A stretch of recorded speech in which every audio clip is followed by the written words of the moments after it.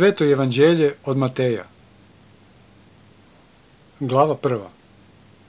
Rodoslov Isusa Hrista i njegovo rođenje.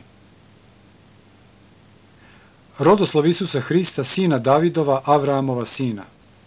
Avram rodi Isaka, a Isak rodi Jakova, a Jakov rodi Judu i braću njegovu. A Juda rodi Faresa i Zaru s Tamarom, a Fares rodi Esroma, a Esrom rodi Arama. Aram rodi Aminadava, a Aminadav rodi Nasona, a Nason rodi Salmona. A Salmon rodi Voza s Rahavom, a Voz rodi Ovida s Rutom, a Ovid rodi Jeseja. A Jesej rodi Davida cara, a David car rodi Solomona sa Urinicom. A Solomon rodi Rovoama, a Rovoam rodi Aviju, a Avija rodi Asu.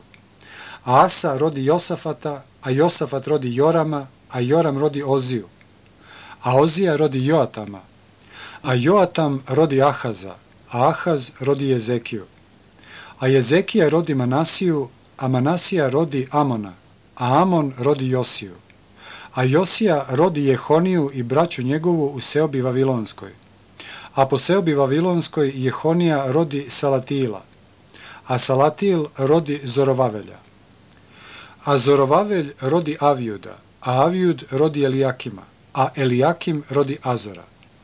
A Azor rodi Sadoka, a Sadok rodi Ahima, a Ahim rodi Elijuda. A Elijud rodi Eleazara, a Eleazar rodi Matana, a Matan rodi Jakova, a Jakov rodi Josifa, muža Marije, od koje se rodi Isus zvani Hristos. Svega dakle koljena od Avrama do Davida, koljena 14, a od Davide do Seobe Vavilonske koljena 14 i od Seobe Vavilonske do Hrista koljena 14. A rođenje Isusa Hrista ovako bi. Kad je mati njegova Marija bila obručena Josifu, a prije nego što se bijehu sastali, nađe se da je zatrudnila od duha svetoga. A Josif, muž njezin, budući pravedan i ne hoteće javno izobličiti, namislje tajno otpustiti.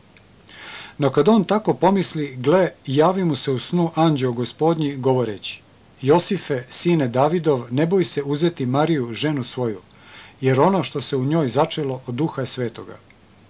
Pa će roditi sina i nadjeni mu ime Isus, jer će on spasti narod svoj od grijeha njihovih.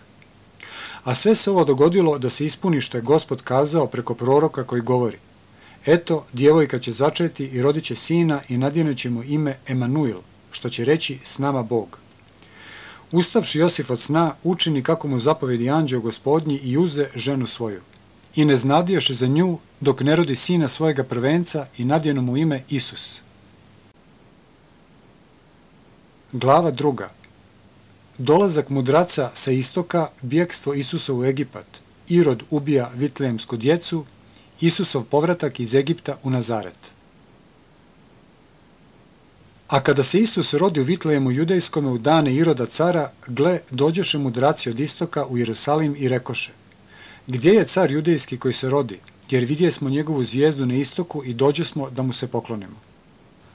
Kada to ču car Irod, uplaši se i sav Jerusalim s njim. I sabravši sve prosveštenike i književnike narodne, pitaše ih gdje će se Hristos roditi. A oni rekoše, u Vitlejemu judejskome jer je tako prorok napisao, I ti, Vitlejeme, zemlju Judina, ni po čem nisi najmanji među kneževima Judinim, jer će iz tebe izaći vođa koji će napasati narod moj Izrailja. Onda Irod tajno, dozvavši mudrace, saznade od njih kada se pojavila zvijezda.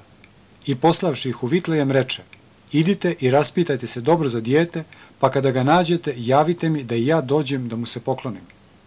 A oni, saslušavši cara, pođoše i gle, zvijezde koji su vidjeli na istoku iđaše pred njima, dok ne dođe i stade od ozgo gde biješe dijete.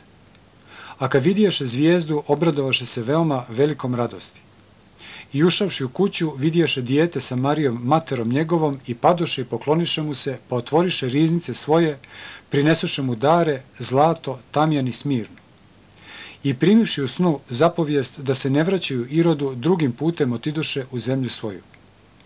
A kad oni otidoše, a to anđeo gospodnji javi se Josifu u snu i reče, ustani, uzmi dijete i mater njegovu, pa bježi u Egipat i budi ondje dok ti ne kažem, jer će Irod tražiti dijete da ga pogubi.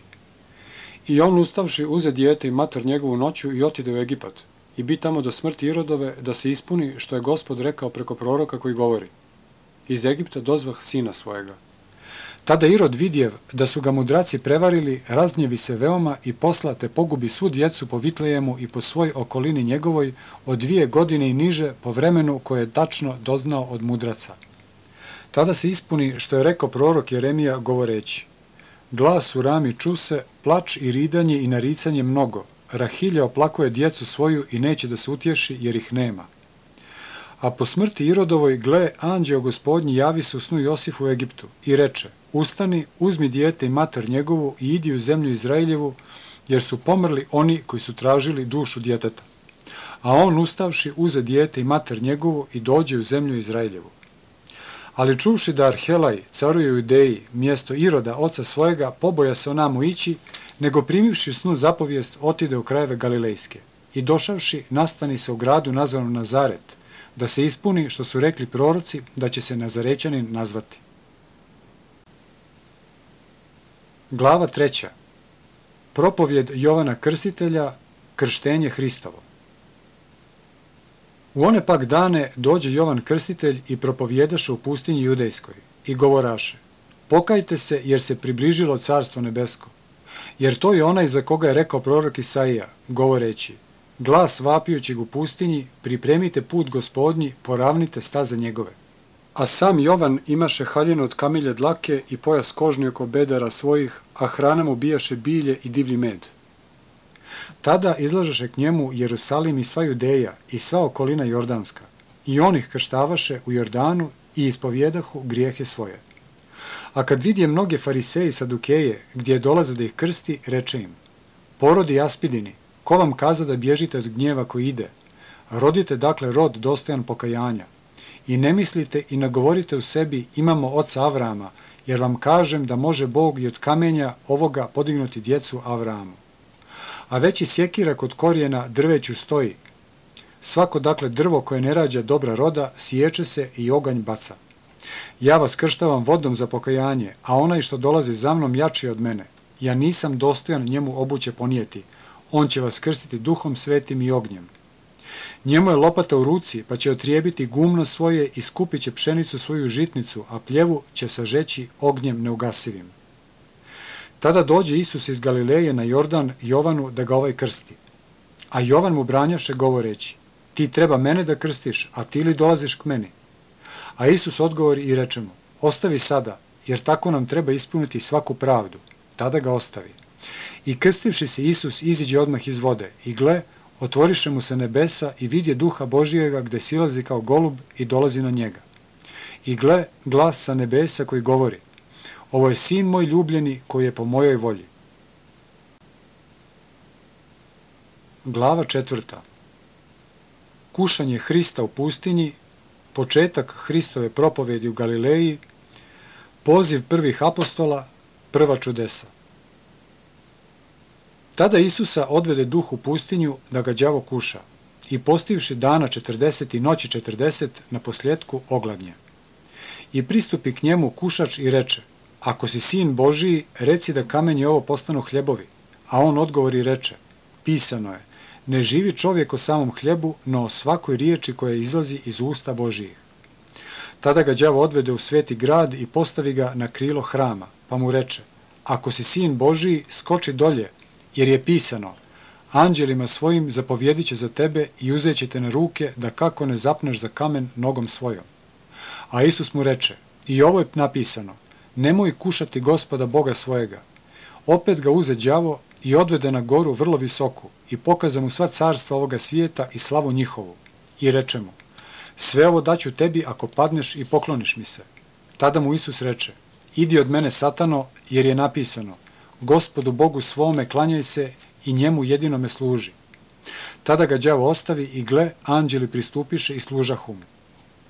A kada ču Isus da je Jovan predan, otide u Galileju i ostavivši Nazaret, dođe i nastani se u Kapernaumu Primorskome, u krajevima Zavulonovim i Neftalimovim, da se ispuni što je rekao prorok Isaija govoreći.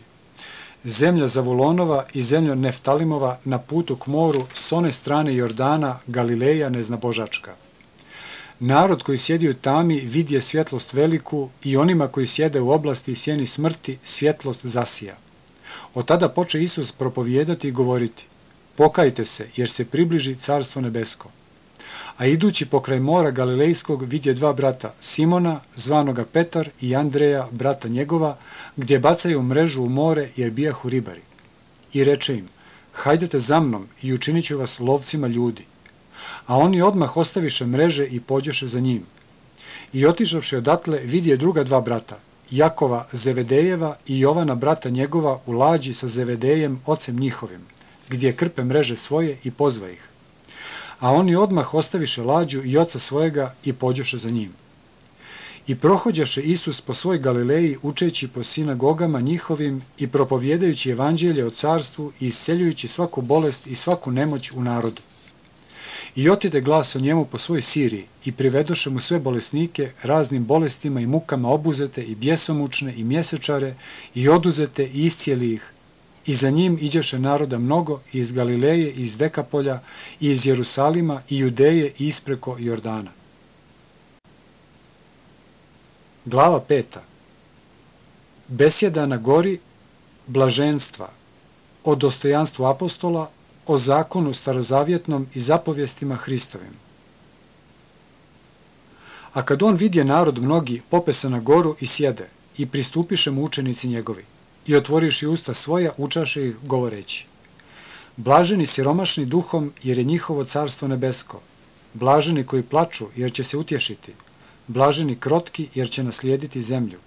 Blaženi gladni i žedni pravde jer će se nasititi. Blaženi milostivi jer će biti pomilovani. Blaženi čisti srcem jer će Boga vidjeti. Blaženi mirotvorci jer će se sinovi Božiji nazvati. Blaženi prognani pravde radi jer je njihovo carstvo nebesko. Blaženi ste kada vas sramote i progone i lažući govore protiv vas svakojake rđave riječi zbog mene. Radujte se i veselite se jer je velika plata vaša na nebesima, jer su tako progonili i proroke prije vas. Vi ste so zemlji, ako su obljutavi, čime će se osoliti? Ona već neće biti ni za šta, osim da se prospe napolje i da ljudi pogaze. Vi ste svjetlost svijetu, ne može se grad sakriti kad na gori stoji, niti se užiže svjetiljka i meće pod sud, nego na svjećnjak te svjetli svima koji su u kući. Tako da se svjetli svjetlost vaša pred ljudima, da vide vaša dobra dijela i proslave Oca vašega koje je na nebesima. Ne mislite da sam došao da ukinem zakon ili proroke. Nisam došao da ukinem, nego da ispunim. Jer zaista vam kažem, dok ne prođe nebo i zemlja, neće nestati ni najmanjega slovca ili jedne crte iz zakona dok se sve ne zbude. Ako dakle ko ukine jednu od ovih najmanjih zapovijesti i nauči tako ljude, nazvaće se najmanji u carstvu nebeskome. Ako izvrši i nauči, taj će se veliki nazvati u carstvu nebeskome. Jer vam kažem, da ako ne bude pravda vaša veća nego pravda književnika i fariseja, nećete ući u carstvo nebesko. Čuli ste, kako je kazano, starima, ne ubij, jer ko ubije, bit će kriv sudu. A ja vam kažem da će svaki koji se gnjevi na brata svoga nizašto biti kriv sudu. A koliko reče bratu svome raka, bit će kriv sinedrionu, ako reče budalo, bit će kriv paklu ognjenome. Ako dakle prineseš dar svoj žrtveniku i ondje se sjetiš da brat tvoj ima nešto protiv tebe, ostavi ondje dar svoj pred žrtvenikom i idi te se najpre pomiri sa bratom svojim, pa onda dođi i prinesi dar svoj.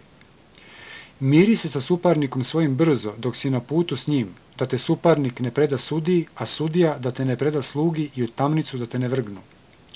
Zaista ti kažem, nećeš izići odande dok ne daš do posljednjega novčića. Čuli ste kako je kazano starima, ne čini preljubu, a ja vam kažem da svaki koji pogleda na ženu sa željom za njom, već je učinio preljubu sa njom u srcu svome. A ako te oko tvoje desno sablažnjava, iskopaj ga i baci od sebe, jer ti je bolje da pogine jedan od udova tvojih, nego li sve tijelo tvoje da bude bačeno u pakao. Ako li te desna ruka tvoja sablažnjava, ocijeci je i baci od sebe, jer ti je bolje da pogine jedan od udova tvojih, nego li da sve tijelo tvoje bude bačeno u pakao. Tako je kazano, ko otpusti ženu svoju, neka joj da knjigu otpusnu. A ja vam kažem da svaki koji otpusti ženu svoju osim zbog preljube, navodi je da čini preljubu i koji se oženi otpuštenicom, preljubu čini. Još ste čuli kako je kazano starima, ne kuni se krivo, a ispuni što si se gospodu zakleo. A ja vam kažem, ne kunite se nikako, ni nebom jer je prijesto Božiji, ni zemljom jer je podnožje nogama njegovim, ni Jerusalimom jer je grad velikoga cara. Ni glavom svojom ne kuni se jer ne možeš ni dlaku jednu bijelom ili crnom učiniti. Dakle, neka bude riječ vaša da, da, ne, ne, a što je više od toga, od zloga je. Čuli ste da je kazano, oko za oko i zub za zub. A ja vam kažem da se ne protivite zlu, nego ako te ko udari po desnom obrazu tvom, okreni mu i drugi. I koji hoće da se sudi s tobom i košulju tvoju da uzme, podaj mu i haljinu. I ako te ko potjera jednu milju, ide s njimi dvije. Koji ište u tebe podaj mu i koji hoće od tebe da pozajmi, ne odreci mu.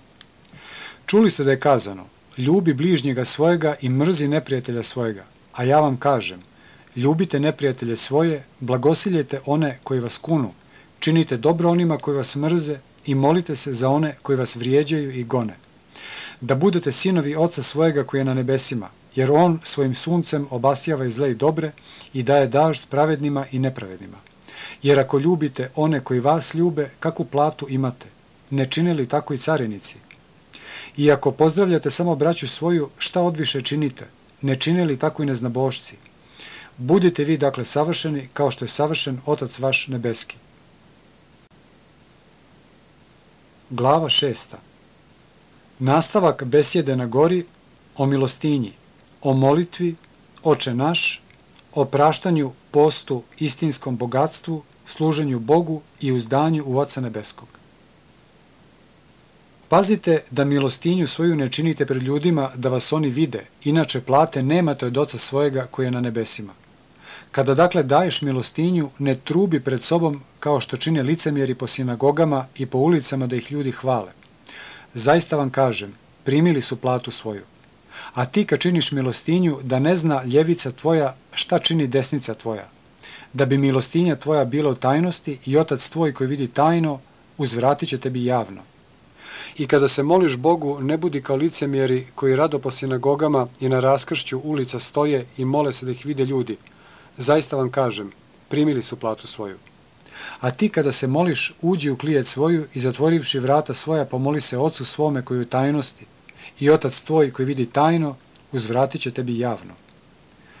A kada se molite, ne praznoslovite kao neznabošci, jer oni misle da će za mnoge riječi svoje biti uslišeni. Ne budite dakle slični njima, jer zna otac vaš šta vama treba prije, no zaištete od njega. Ovako dakle molite se vi. Oče naš koji si na nebesima, da se sveti ime Tvoje, da dođe carstvo Tvoje, da bude volja Tvoja i na zemlji kao na nebu. Hljeb naš nasušni daj nam danas i oprosti nam dugove naše kao što i mi opraštamo dužnicima svojim. I ne uvedi nas u iskušenje, no izbavi nas od zloga. Jer je Tvoje carstvo i sila i slava u vijekove. Amin. Jer ako oprostite ljudima sa griješenja njihova, oprostit će i vama Otac vaš nebeski. Ako li ne oprostite ljudima sa griješenja njihova, ni otac vaš neće oprostiti vama sa grešenja vaša. A kada postite, ne budite sumorni kao licemjeri, jer oni natmure lica svoja da se pokažu ljudima kako poste. Zaista vam kažem, primili su platu svoju. A ti kada postiš, namaži glavu svoju i lice svoje umiji, da te ne vide ljudi gdje postiš, nego otac tvoj koji je u tajnosti i otac tvoj koji vidi tajno, uzvratit će tebi javno. Ne sabirajte sebi blaga na zemlji gdje moljac i rđa kvari i gdje lopovi potkopavaju i kradu. Nego sabirajte sebi blaga na nebu gdje ni moljac ni rđa ne kvari i gdje lopovi ne potkopavaju i ne kradu. Jer gdje je blago vaše, ondje će biti i srce vaše. Svjetiljka tijelu je oko. Ako dakle oko tvoje bude zdravo, sve će tijelo tvoje svjetlo biti. Ako li oko tvoje kvarno bude, sve će tijelo tvoje tamno biti. Ako je dakle svjetlost koja je tebi tama, kolika je tek tama. Niko ne može dva gospodara služiti, jer ili će jednoga mrziti, a drugoga ljubiti, ili će se jednoga držati, a drugoga prezirati. Ne možete služiti Bogu i mamonu. Zato vam kažem, ne brinite se dušom svojom šta ćete jesti ili šta ćete piti, ni tijelom svojim u šta ćete se odjenuti. Nije li duša pretežnija od hrane i tijelo od odjela? Pogledajte na ptice nebeske kako ne siju, niti žanju, ni sabiraju u žitnice, pa otac vaš nebeski hrani ih. Niste li vi mnogo pretežniji od njih? A ko od vas brinući se može pridodati rastu svojemu lakat jedan? I za odijelo, što se brinete? Pogledajte na krineve u polju kako rastu, ne trude se niti predu. Ali ja vam kažem da se ni Solomon u svoj slavi svojoj ne odjenu kao jedan od njih. Pa kada travu u polju, koja danas jeste, a sutra se u peć baca, Bog tako odjeva, a kamoli vas malovjerni.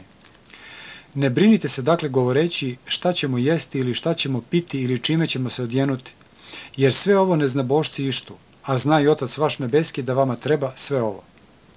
Nego ištite najprije carstvo Božije i pravdu njegovu i ovo će vam se sve dodati. Ne brinite se dakle za sutra, jer sutra brinuće se za se. Dosta je svakome danu zla svoga. Glava sedma Kraj besjede na gori o neosuđivanju bližnjih, čuvanju svetinje i postojanosti u molitvi, o uskim vratima i tijesnom putu, o lažnim prorocima i pravom i lažnom izvršenju zapovijesti Hristovih.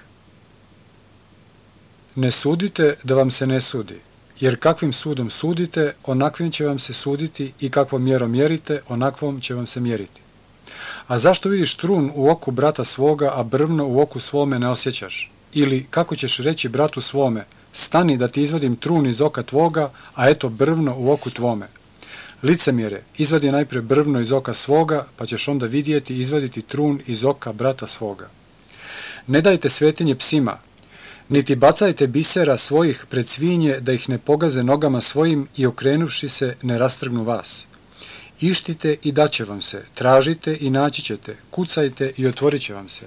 Jer svaki koji ište prima i koji traži nalazi i koji kuca, otvorit će mu se. Ili koji je među vama čovjek od koga ako sin njegov zaište hljeba, kamen da mu da? Ili ako ribe zaište, da mu da zmiju? Kad dakle vi zli budući umijete dare dobre davati djeci svojoj, koliko će više Otac vaš nebeski dati dobra onima koji mu ištu? Sve dakle što hoćete da čine vama ljudi, tako činite i vi njima, jer je to zakon i proroci. Uđite na uska vrata, jer su široka vrata i širok put što vode u propast, i mnogo ih ima koji njime idu. Jer su uska vrata i tjesan put što vode u život i malo ih je koji ga nalaze. Čuvajte se lažnih proroka koji vam dolaze u dijelu ovčijem, a iznutra su vuci grabljivi. Po plodovima njihovim poznaćete ih. E da li se bere sa trnja grožđe ili sa čička smokve. Tako svako dobro drvo plodove dobre rađa, a zlo drvo plodove zle rađa. Ne može drvo dobro plodove zle rađati, ni drvo zlo plodove dobre rađati. Svako drvo koje ne rađa dobra ploda, sječe se i oganj baca. I tako, dakle, po plodovima njihovim poznaćete ih. Neće svaki koji mi govori, gospode, gospode, ući u carstvo nebesko, no koji tvori volju oca mojega koji je na nebesima. Mnogi će mi reći u onaj dan, gospode, gospode, nismo li u ime tvoje prorokovali i imenom tvojim demone izgonili i tvojim imenom čudesa mnoga tvorili? I tada ću im javno kazati, nikad vas nisam znao, idite od mene vi koji činite bezakonje. Svaki dakle koji sluša ove riječi moje i izvršuje ih, uporedit ću ga sa čovjekom mudrim koji sazida kuće svoje na kamenu. I udari dažd i dođeše vode i dunoše vjetrovi i navališe na onu kuću, i ne pade, jer biješe utemeljena na kamenu. A svaki koji sluša ove riječi moje i ne izvršuje ih, bit će sličan čovjeku ludom koji sazida kuću svoju na pjesku. I udari dažd i dođeše vode i dunoše vjetrovi i udariše na kuću onu i pade i pad njezin biješe strašan. I kada završi Isus riječi ove, divljaše se narod nauci njegovoj, jer ih učaše kao onaj koji vlast ima, a ne kao književnici i fariseji. Glava osma O iscijeljenju Gubavoga, sluge Kapetanovog, tašte Petrove i drugih bolesnika, o uslovima idenja za Hristom, stišavanje bure na moru i iscijeljenje gadarinskih bjesomučnika. A kad siđe sa gore, za njim pođe mnoštvo naroda, i gle, dođe gubavac i klanjaše mu se, govoreći, Gospode, ako hoćeš, možeš me očistiti. I pruživši ruku Isus, dohvati ga se govoreći, hoću, očisti se, i odmah očisti se od gube svoje. I reče mu Isus, gledaj, nikome ne kazuj, nego idi i pokaži se svešteniku i prinesi dar koji je zapovjedio Mojsej radi svjedočanstva njima.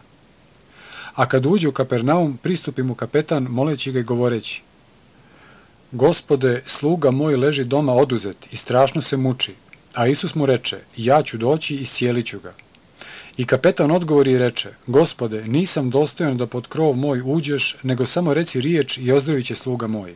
Jer ja sam čovjek pod vlašću, imam pod sobom vojnike, pa rečem jednome idi i ide, i drugome dođi i dođe, i slugi svome učini to i učini. A kad ču Isus, zadivi se i reče onima što idu za njim, zaista vam kažem, ni u Izraelju tolike vjere ne nađoh.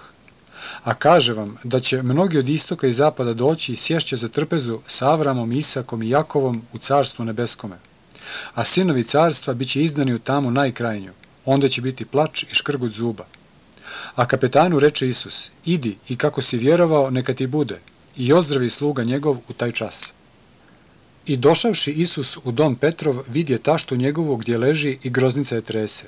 I dotače se ruke njene i pusti je vatra i ustade i služaše mu. A kada bi veče, dovedoše k njemu bjesomučnih mnogo, izagna duhove, riječju i sve bolesnike iscijeli, da se ispuni što je kazao Isaija prorok govoreći, on nemoći naše uze i bolesti ponese. A kada vidi Isus mnogo naroda oko sebe, zapovjedi da pređu na onu stranu. I pristupivši jedan književnik, reče mu, Učitelju, ići ću za tobom kud god ti pođeš. Reče mu Isus, lisice imaju jame i ptice nebeske gnjezda, a sin čoveči nema gdje glavu zakloniti. A drugi od učenika njegovih reče mu, Gospode, dopusti mi najprije da odem i ukopam oca svojega. A Isus mu reče, hajde za mnom, a ostavi neka mrtvi ukopavaju svoje mrtve. I kad uđe u lađu, za njim uđoše učenici njegovi. I gle, bura velika nastade na moru, tako da se lađa pokri valovima, a on spavaše. I prišavši učenici njegovi probudiše ga govoreći, Gospode, spasi nas, izgibo smo. I reče im, zašto ste strašljivi malovjerni? Tada ustavši zapreti vjetrovima i moru i nastade tišina velika. A ljudi se začudiše govoreći, ko je ovaj da ga slušaju i vjetrovi i more? A kad on dođe na onu stranu u zemlju Gergesinsku, sretoše ga dva bjesomučnika izlazeći iz grobova tako opaka da ne mogaše niko proći putem onim. I gle, povikaše govoreći, šta hoćeš od nas, Isuse, sine Božiji, zar si došao amo prije vremena da nas mučiš? A daleko od njih pasijaše veliko krdo svinja. I demoni ga moljahu govoreći, ako nas izgoniš, dozvoli nam da idemo u krdo svinja. I reče im, idite, I oni, izišavši, otidoše u krdo svinja i gle, navali sve krdo svinja sa brijega u more i utopiše se u vodi. A svinjari pobjegoše i došavši u grad, kazaše sve i za bjesomočnike. I gle, sav grad iziđe u susret Isusu i vidjevši ga, moliše ga da ode iz njihovoga kraja.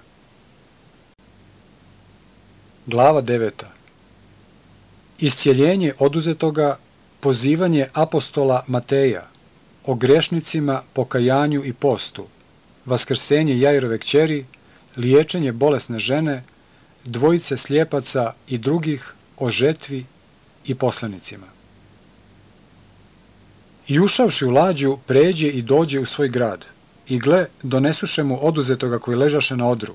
I vidjevši Isus vjeru njihovu, reče oduzetome, ne boj se čedo, opraštaju ti se grijesi tvoji. I gle, neki od književnika rekoše u sebi, ovaj huli na Boga, a Isus vidjevši pomisli njihove reče, zašto vi zlo mislite u srcima svojim? Jer šta je lakše reći, opraštiti se grijesi ili reći ustani i hodi? Ali da znate da vlast ima sin čovječiji na zemlji opraštati grijehe, tada reče oduzetome, ustani, uzmi odar svoj i idi domu svome. I ustavši otide domu svome, a narod vidjevši zadivi se i proslavi Boga koji je dao takvu vlast ljudima. I odlazeći Isus odande vidje čovjeka gdje sjedi na carini po imenu Mateja i reče mu, hajde za mnom, i ustavši otide za njim. A kad jeđaše u kući, gle, mnogi carinici i grešnici dođoše i jeđahu sa Isusom i sa učenicima njegovim. I vidjevši to, fariseji rekoše učenicima njegovim, zašto sa carinicima i grešnicima učitelj vaš jede i pije? A Isus čuši reče im, ne trebaju zdravi ljekara, nego bolesni. Nego idite i naučite se šta znači, milosti hoću, a ne žrtvo prinošenje, jer nisam došao da zovem pravednike, no grešnike na pokajanje. Tada mu pristupiše učenici Jovanovi govoreći, zašto mi, fariseji, postimo mnogo, a učenici tvoji ne poste? A Isus im reče, e da li mogu svatovi biti žalosni dok je ženik s njima? Nego će doći dani kada će biti otet od njih ženik i onda će postiti, jer niko ne meće novu zakrpu na staru haljinu, jer će zakrpa odadrijeti od haljine i gora će rupa biti. Niti se sipa vino novo u mjehove stare, inače se prodru mjehovi, a vino se prolije i mjehovi propadnu. Nego se sipa vino novo u mjehove nove i oboje se sačuva. Dok on tako govoraše njima, gle, knez jedan dođe i klanjaše mu se govoreći. Kći moja sad umrije, nego dođi i stavi na nju ruku svoju i oživjeće. I ustavši Isus pođe za njim i učenici njegovi. I gle, žena koja je 12 godina bolovala od tečanja krvi, pristupi sastrag i dohvati se skuta haljina njegove. Jer govoraše u sebi, ako se samo dotaknem haljine njegove, ozdraviću. A Isus, obazrevši se i vidjevši, reče, ne boj se kćeri, vjera tvoja spasla te je, i ozdravi žena od onoga časa. I došavši Isus u dom knežev i vidjevši svirače i narod uskomešan, reče im, odstupite, jer djevojka nije umrla, nego spava. I podsmijevahu mu se. A kad istjera narod, uđe i uhvati je za ruku i ustada djevojka. I pronese se glas o ovome po svoj zemlji onoj. A kad je Isus odlazio dande, za njim iđahu dva slijepca, vičući i govoreći, pomiluj nas, sine Davidov. A kada dođe u kuću, pristupiše mu slijepci i reče im Isus, vjerujete li da mogu to učiniti? A oni mu rekoše, da, gospode. Tada se dohvati oči u njihovi govoreći, po vjeri vašoj neka vam bude. I otvoriše im se oči i zapreti im Isus govoreći, gledajte da niko ne dozna. A oni izišavši, razglasiše ga po svoj zemlji onoj. Kada pak oni izlažahu, gle, dovedoše mu čovjeka nijema i bjesomučna. I pošto izna demona, progovori nijemi. I divljaše se narod govoreći, nikad se to nije vidjelo u Izraelju. A fariseji govorahu, pomoću kneza demonskog izgoni demone. I prohođaše Isus po svim gradovima i selima, učeći po sinagogama njihovim i propovjedajući evanđelje o carstvu i iscijeljujući svaku bolest i svaku nemoć u narodu. A gledajući mnoštvo naroda, sažali se na njih jer bijahu smeteni i napušteni kao ovce bez pastira. Tada reče učenicima svojim, žetve mnogo, a poslenika malo. Molite se stoga gospodaru žetve da izvede poslenike na žetvu svoju. Glava deseta Imena dvanaestorice apostola, davanje vlasti i uputstava apostolima i predskazivanje stradanja zbog evanđelja. I dozvavši svojih dvanest učenika, dade im vlast nad duhovima nečistim da ih izgone i da ih iscijeljuju od svake bolesti i svake nemoći. A imena dvanest apostola su ova. Prvi Simon, koji se zove Petar, i Andrej, brat njegov, Jakov Zevedejev i Jovan, brat njegov, Filip i Vartolomej, Toma i Matej Carinik, Jakov Alfejev i Levej prozvani Tadej, Simon Kananit i Juda Iskariotski koji ga i izdade. Ovu dvanestoricu posle Isus i zapovjedi im govoreći, na put neznabožaca ne idite i u grad Samarijanski ne ulazite, nego idite najprije izgubljenim ovcama doma Izraeljeva.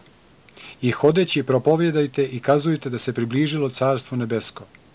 Bolesne iscijeljujte, gubave čistite, mrtve dižite, demone izgonite, na dar ste dobili, na dar i dajte. Ne nosite zlata, ni srebra, ni bakra u pojasima svojim, ni torbe na put, ni dvije haljine, ni obuće, ni štapa, jer je poslenik dostojan hrane svoje. A kad u koji grad ili selo uđete, ispitajte ko je u njemu dostojan i ondje ostanite dok ne iziđete. A ulazeći u kuću, pozdravite govoreći, mir domu ovome. I ako bude kuća dostojna, neka dođe mir vaš na nju, a ako li ne bude dostojna, neka se mir vaš vama vrati. Ako vas ko ne primi, niti posluša riječi vaše, izlazeći iz kuće ili iz grada onoga, otresite prah sa nogu svojih. Zaista vam kažem, lakše će biti zemlji Sodomskoj i Gomorskoj dan suda nego li gradu onome. Eto, ja vas šaljem kao ovce među vukove, budite dakle mudri kao zmije i bezazleni kao golubovi. A čuvajte se od ljudi, jer će vas predati sudovima i po sinagogama svojim tući će vas i pred starješine i careve izvodit će vas mene radi za svjedočanstvo njima i neznabošcima. A kad vas predadu, ne brinite se kako ćete ili šta ćete govoriti, jer će vam se u onaj čas dati šta ćete kazati. Jer nećete vi govoriti, nego će duh oca vašega govoriti iz vas. A predaće brat brata na smrt i otac sina, i ustaće djeca na roditelje i pobiće ih I svi će vas mrziti zbog imena moga, ali koji pretrpi do kraja, taj će se spasti. A kad vas potjeraju u jednom gradu, bježite u drugi, jer zaista vam kažem, nećete obići gradova Izraeljevih dok ne dođe sin čovječiji. Nema učenika iznad učitelja svojega, ni sluge iznad gospodara svojega. Dosta je učeniku da bude kao učitelj njegov i slugi kao gospodar njegov. Ako su domaćina nazvali Velzevulom, koliko će prije domaće njegove? Ne bojite ih se, dakle, jer nema ništa sakriveno što se neće otkriti, ni tajno što se neće doznati. Što vam govorim u tami, kazujte na vidiku, i što vam se šapće na uši, propovedajte s krovova. I ne bojte se onih ko bijaju tijelo, a dušu ne mogu ubiti, nego se više bojite onoga koji može i dušu i tijelo pogubiti u paklu. Ne prodaju li se dva vrapca za jedan novčić, pa nijedan od njih ne padne na zemlju bez oca vašega? A vama je i kosa na glavi sva izbrojana. Ne bojte se dakle, vi ste bolji od mnogo vrabaca. Svaki koji prizna mene pred ljudima, priznaću ja njega pred ocem svojim koji je na nebesima. A ko se odrekne mene pred ljudima, odreći ću se ja njega pred ocem svojim koji je na nebesima. Ne mislite da sam došao da donesem mir na zemlju. Nisam došao da donesem mir, nego mač. Jer sam došao da rastavim čovjeka od oca njegovog i kćer od matere njezine i snahu od sve krve njezine. I neprijatelji čovjeku postaće domaći njegovi. Koji ljubi oca ili mater većma nego mene, nije mene dostojan. I koji ljubi sine ili kćer većma nego mene, nije mene dostojan. I koji ne uzme krst svoj i ne pođe za mnom, nije mene dostojan. Koji čuva život svoj, izgubit će ga, a koji izgubi život svoj, mene radi, naći će ga. Koji vas prima, mene prima, a koji prima mene, prima onoga koji me je poslao. Koji prima proroka u ime proročko, platu proročku primiće. I koji prima pravednika u ime pravedničko, platu pravedničku primiće. I ako neko napoji jednoga od ovih malih samo čašom studene vode u ime učeničko, zaista vam kažem, neće mu plata propasti. Glava 11. Izaslanstvo Jovana Krstitelja i svjedočanstvo Isusovo o njemu. Prijetnja nepokajanim galilejskim gradovima. Proslavljanje Boga Oca, poziv umornima i natovarenima. I kada završi Isus zapovijesti dvanestorici učenika svojih, otide odande da uči i propovijeda po gradovima njihovim. A Jovan, čuši u tamnici dijela Hristova, posla dvojicu od učenika svojih i reče mu, jesi li ti onaj što će doći ili drugoga da čekamo? A Isus odgovarajući reče im, idite i javite Jovanu ovo što čujete i vidite. Slijepi progledaju i hromi hode, gubavi se čiste i gluhi čuju mrtvi ustaju i siromašnima se propovijeda evanđelje. I blago onome koji se ne sablazni o mene.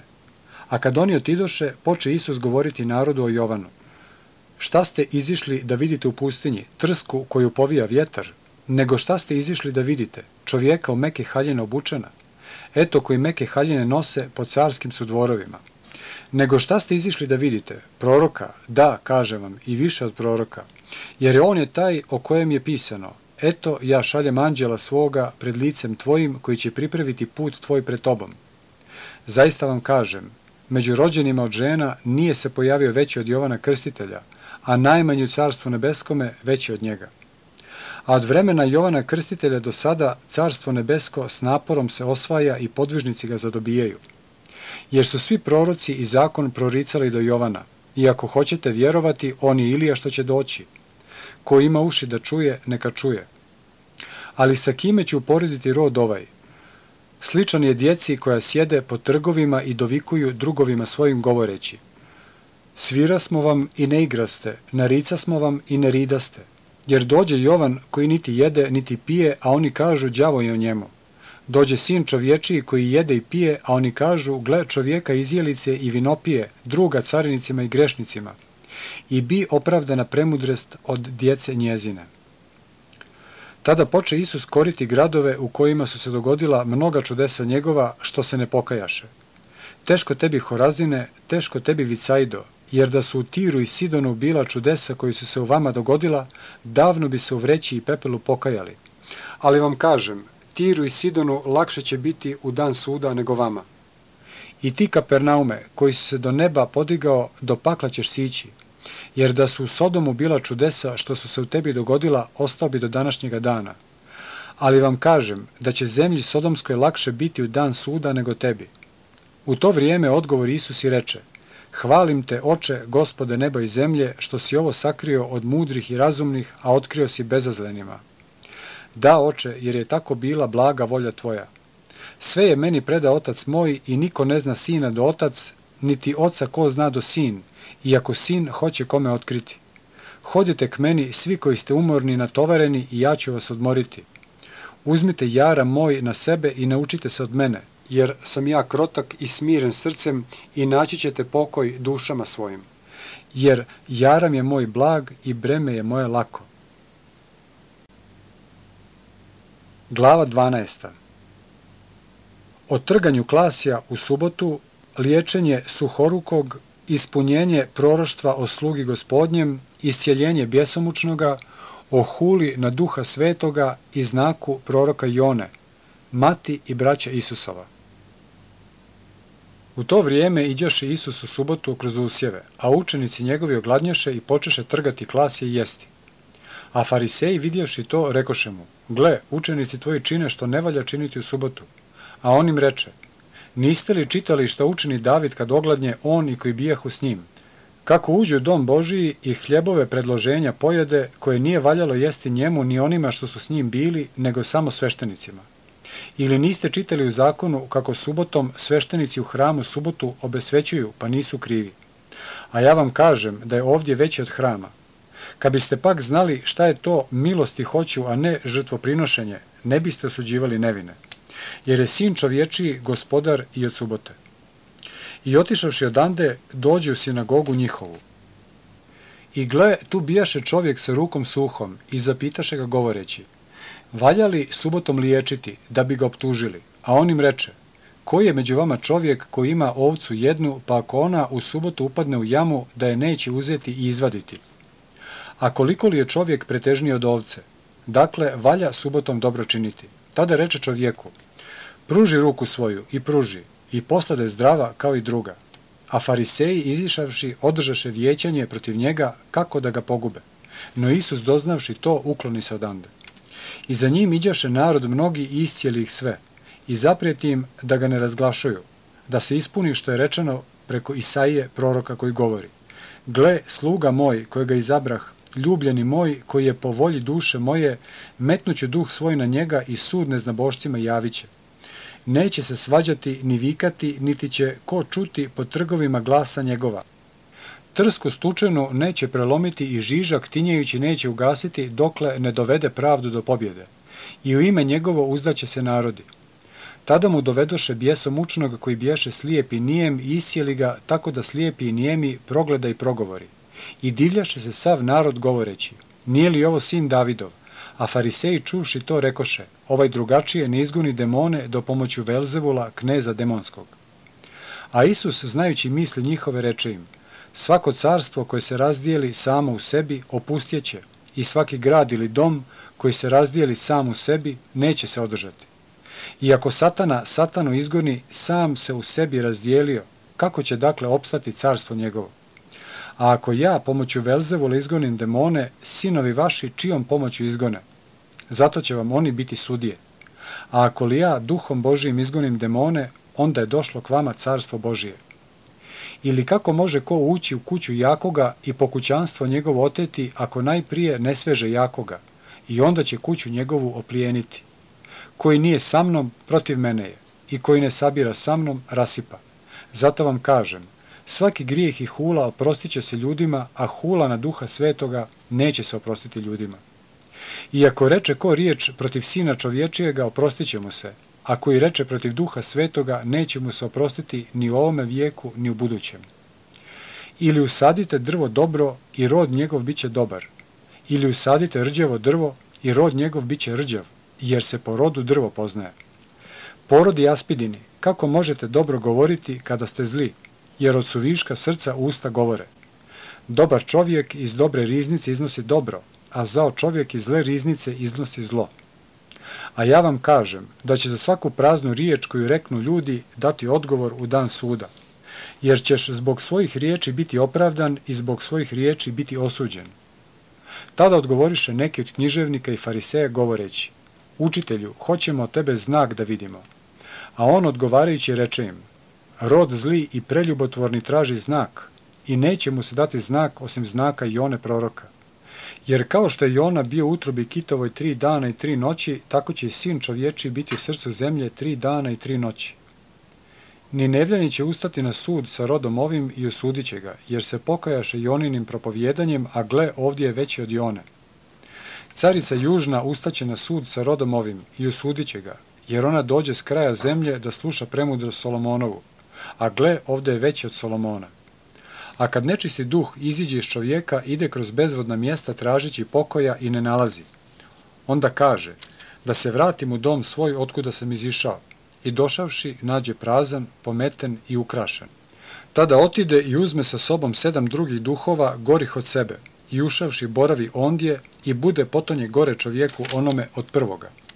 Tako će biti i ovome rodu zlome. Dok on još govoraše narodu, gle mati i braća njegova stajehu napolju tražeći da govore sa njime. I neko mu reče, evo mati tvoja i braća tvoja stoje napolju, tražeći da govore s tobom. A on odgovori i reče onome što mu kaza, ko je mati moja i ko su braća moja? I pruživši ruku svoju na učenike svoje reče, evo mati moja i braća moja, jer ko izvrši volju oca mojega koje je na nebesima, taj je brat moj i sestra i mati. Glava 13. Priče o carstvu nebeskom, o sijaču i sjemenu, o pšenici i kukolju, o zrnu gorušičnom, o kvascu, o sakrivenom blagu, o trgovcu bisera, o mreži. Isus prezren u postojbini svojoj. A onoga dana, izišavši Isus iz kuće, sjeđaše kraj mora. I sabra se oko njega narod mnogi, tako da je mora ući u lađu i sjesti, a narod sav stajaše na obali. I on im kaziva mnogo u pričama govoreći, gle, iziđe sijač da sije. I kad sijaše, jedna zrna padoše pokraj puta i dođuše ptice i pozobaše ih a druga padoše na kamenita mjesta gde ne bijaše mnogo zemlje i odmah iznikoše jer ne bijaše zemlja duboka. I kad obasja sunce, uvenuše i budući da nemahu žila, posahnuše. A druga padoše u trnje i naraste trnje i podavi ih. A druga padoše na zemlju dobru i donošahu rod jedno po sto, a jedno po šestdeset, a jedno po trideset. Ko ima uši da čuje, neka čuje. I pristupivši učenici rekoše mu, zašto im govoriš u pričama? A on odgovarajući reče im, zato što je vama dano da znate tajne carstva nebeskoga, a njima nije dano, jer ko ima daće mu se i preteći će mu, a ko nema uzet će mu se i ono što ima. Zato im govorim u pričama, jer gledajući ne vide i slušajući ne čuju, niti razumiju. I ispunjava se na njima proroštvo Isajino koje govori Ušima ćete čuti i nećete razumjeti, i očima ćete gledati i nećete vidjeti jer je otvrdnulo srce ovoga naroda i ušima teško čuju i očima svojim zažmuriše, da kako očima ne vide i ušima ne čuju i srcem ne razumiju i ne obrate se da ih iscijelim. A blago vašim očima što vide i ušima vašim što čuju, jer zaista vam kažem da su mnogi proroci i pravednici željeli vidjeti što vi vidite, a ne vidješe, i čuti što vi čujete i ne čuše. Vi pak čujte priču o sijaču. Svakome koji sluša riječ o carstvu i ne razumije, dolazi nečastivi i krade posijano u srcu njegovom. To je ono, pored puta posijano. A na kamenitom mjestu posijano, to je koji sluša riječ i odmah je s radošću prima. Ali nema korijena u sebi, nego je nepostojan, pa kad bude do nevolje ili ga potiraju zbog riječi, odmah se sablazni. A posijano u trnju, to je koji sluša riječ, no briga ovoga svijeta i prevare bogatstva zaguše riječ i bez roda ostane a posijano na dobroj zemlji, to je koji sluša riječ i razumije, koji dakle i rod rađa i donosi jedan po sto, a jedan po šestdeset, a jedan po trideset. Drugu priču kazujem im govoreći, carstvo nebesko je kao čovjek što posija dobro sjeme na njivi svojoj, a kad ljudi pospaše, dođe njegov neprijatelj i posija kukolj po pšenici pa otide.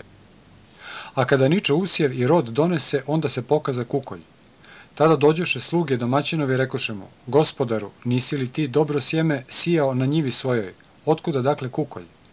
A on im reče, neprijatelj čovjek to učini, a sluge mu rekoše, hoćeš li dakle da idemo da ga počupamo?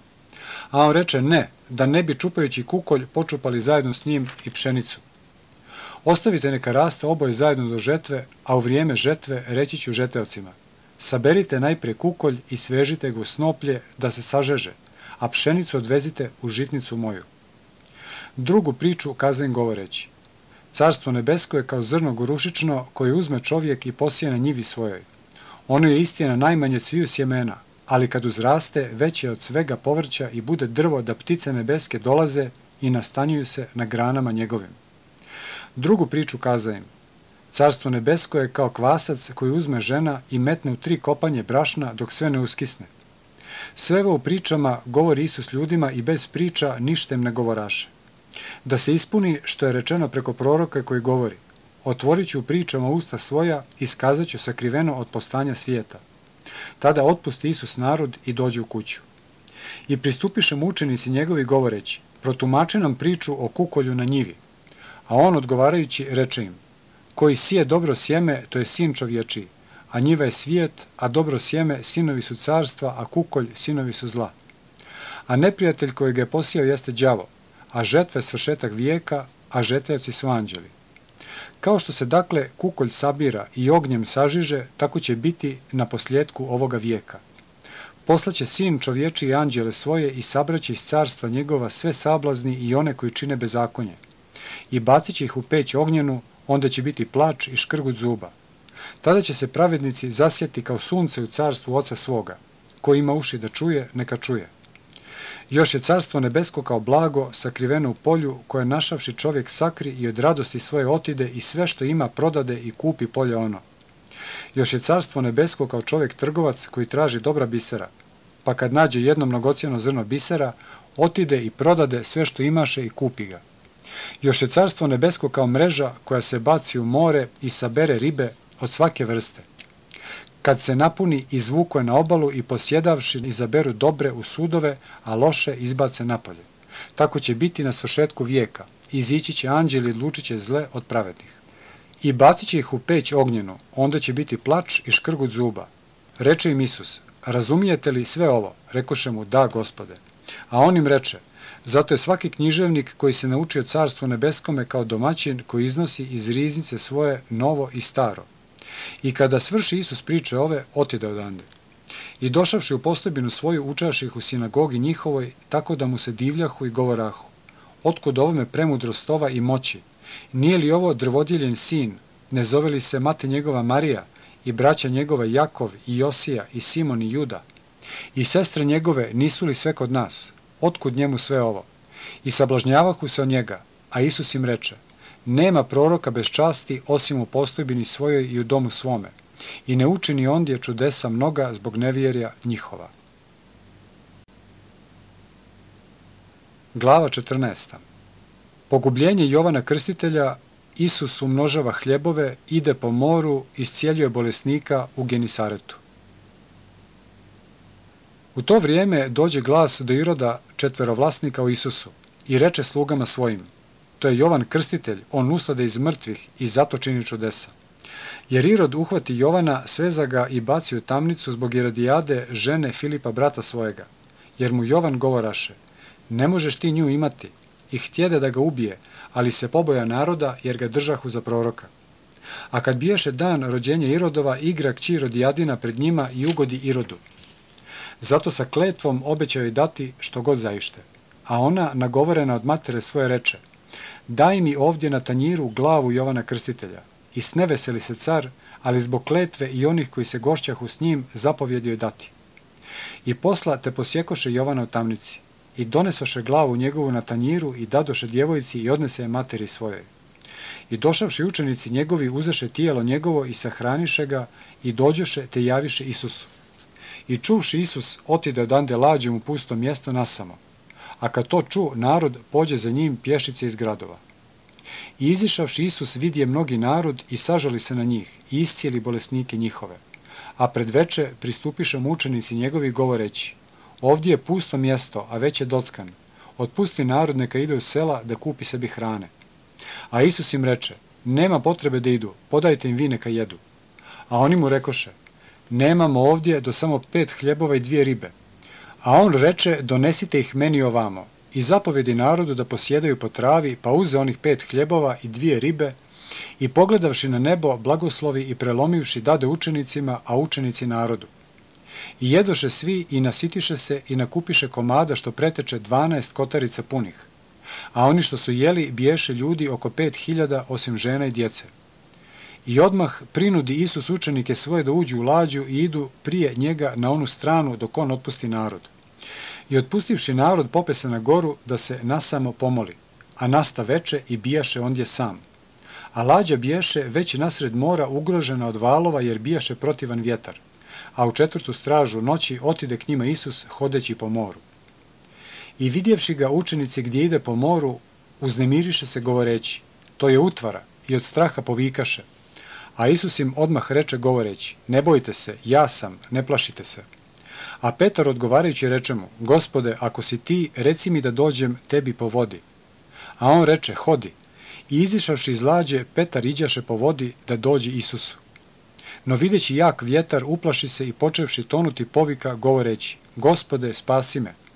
I odmah Isus, pruživši ruku, uhvati ga i reče mu, malovjerni, zašto posumnja? I kad uđeš u lađu, presta vjetar. A oni u lađi pristupiše i pokloniše mu se, govoreći, vaistinu si ti, sin Boži. I prešavši, dođoše u zemlju Genisaretsku. I poznavši ga ljudi iz onog mjesta, poslaše po svoj onoj okolini i donesuše mu sve bolesnike i moljahu ga da se samo dotaknu skuta od haljene njegove i koji se dotakoše ozdraviše. Glava 15. Hristos izobličava fariseje za njihova ljudska predanja, šta pogane čovjeka, vjera žene Hananejke, liječenje mnogih bolesnika, drugo množenje hljebova. Tada pristupiše Isusu književnici fariseji od Jerusalima govoreći Zašto učenici tvoji prestupaju predanje starih, jer ne umivaju ruke svoje kad hljeb jedu? A on odgovarajući reče im, zašto i vi prestupate zapovijest Božiju za predanje svoje? Jer Bog zapovjedi govoreći, poštuj oca i mater i koji ruži oca ili mater smrću da umre. A vi kažete, Ako koji reče ocu ili materi prilog je ono čime bih ti ja mogao pomoći, može i da ne poštuje oca svoga i mater. I ukido ste zapovijest Božiju za predanje svoje. Licemjeri, dobro je za vas prorokao Isaija govoreći, približava mi se narod ovaj ustima svojim i usnama me poštuje, a srce im je daleko od mene. No u zalud me poštuju učeći naukama i zapovjestima ljudskim i dozvavši narod reče im, slušajte i razumijte. Ne pogani čovjeka što ulazi u usta, nego što izlazi iz usta, ono pogani čovjeka. Tada pristupiše učenici njegovi i rekoše mu, znaš li da fariseji čuši tu riječ, sablazniše se? A on odgovarajući reče, svako drvo koje nije usadio otac moj nebeski, iskorijenit će se. Ostavite ih, slijepi su vođe slijepima, a slijepi slijepoga ko vodi oba će u jamu pasti. A Petar odgovarajući reče mu, rastumači nam priču ovu. A Isus reče, Edali ste i vi još nerazumni, zar još ne znate da sve što ulazi u usta ide u trbuh i izbacuje se napolje, a što izlazi iz usta, izlazi iz srca i ono pogani čovjeka. Jer iz srca izlaze zle pomisli, ubijstva, preljube, blud, krađe, lažna svjedočanstva, hule. I ovo je što pogani čovjeka, a neumivenim rukama jesti ne pogani čovjeka.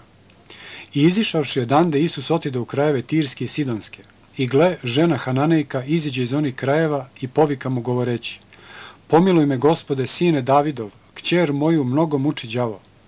A on joj ne odgovori ni riječi. I pristupivši učenici njegovi moljahova govoreći, otpusti je jer viče za nama. A on odgovarajući reče, ja sam poslan samo izgubljenim ovcama doma Izraeljeva. A ona pristupivši poklonimo se govoreći, gospode, pomozi mi. A on odgovarajući reče, nije dobro uzeti hljeb od djece i baciti psima. A ona reče, da, gospode, ali i psi jedu od mrva što padaju sa trpeze gospodara njihovih. Tada odgovori Isus i reče, o ženo, velika je vjera tvoja, neka ti bude kako hoćeš. I ozdravi kći njena od onoga časa. I otišavši Isus odande, dođe moru Galilejskom i popevši se na goru, sjede ondje i pristupi mu narod mnogi koji imaše sa sobom hrome, slijepe, nijeme, bogalje i mnoge druge i položiše ih pred noge Isusove i iscijeli ih. Tako da se narod divljaše, videći gluve gdje čuju, nijeme gdje govore, bogalje iscijeljene, hrome gdje idu, slijepe gdje gledaju i hvališe Boga Izraeljeva. A Isus, dozvavši učenike svoje reče, Žao mi je naroda jer već tri dana stoje kod mene i nemaju šta jesti, a nisam ih rad otpustiti gladne da ne malakšu na putu. I rekoše mu učenici njegovi, otkuda nam u pustinji toliko hljeba da se nasiti toliki narod? I reče im Isus, koliko hljebova imate? A oni rekoše sedam i malo ribica. I zapovjedi narodu da posjedaju po zemlji. I uzevši onih sedam hljebova i ribe, i zablagodarivši, prelomi i dade učenicima svojim, a učenici narodu. I jedoše svi i nasitiše se i nakupiše komada što preteče sedam kotarica punih. A oni što su jeli bijaše četiri hiljade ljudi osim žene i djece. I otpustivši narod uđe u lađu i dođe u krajeve Magdalske. Glava 16.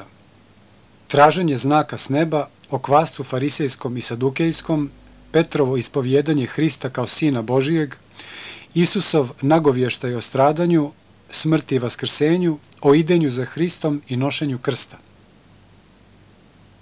I pristupivši fariseji i sadukeji, kušajući ga iskahu da im pokaže znak sa neba. A on odgovarajući reče im, uveče govorite, bit će vedro, jer je nebo crveno, i ujutru danas će biti nepogoda, jer je nebo crveno i mutno. Licemjeri, lice nebesko umijete raspoznavati, a znake vremena ne možete. Rod zli i preljubotvorni traži znak i neće mu se dati znak osim znaka i one proroka i ostavivši ih otide. I učenici njegovi, polazeći na onu stranu, zaboraviše uzeti hljeba. A Isus im reče, pazite i čuvajte se kvasca farisejskog i sadukejskog. A oni pomišljahu u sebi govoreći, to je što nismo hljeba uzeli. A Isus, razumijevši, reče im, šta pomišljate u sebi malovjerni, što niste hljeba uzeli? Zar još ne razumijete, niti pamtite pet hljebova na pet hiljada i koliko kotarica nakupiste? Ni onih sedam hljebova na četiri hiljade i koliko kotarica nakupiste? Kako ne razumijete da vam ne rekog za hljebove, nego da se čuvate kvasca farisejskog i sadukejskog? Tada razumiješe da ne reče da se čuvaju kvasa hljebnoga, nego nauke farisejske i sadukejske. A kada dođe Isus u krajeve Kesarije Filipove, zapita učenike svoje govoreći, šta o meni govore ljudi, ko je sin čovječi? A oni rekoše, jedni govore da si Jovan krstitelj, drugi da si Ilija, drugi opet Jeremija ili koji od proroka. Reče im Isus, a vi šta velite, ko sam ja? A Simon Petar odgovori i reče, ti si Hristos, sin Boga živoga.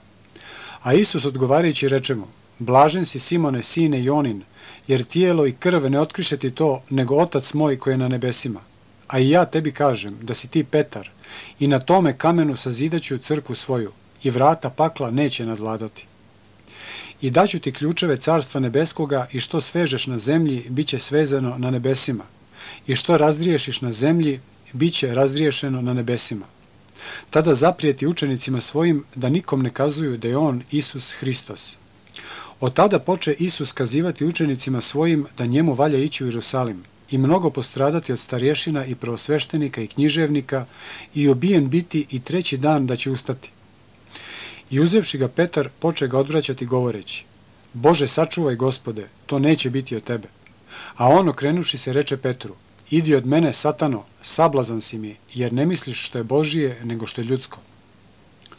Tada Isus reče učenicima svojim, ako hoće ko za mnom ići, neka se odrekne sebe i uzme krs svoj i za mnom ide.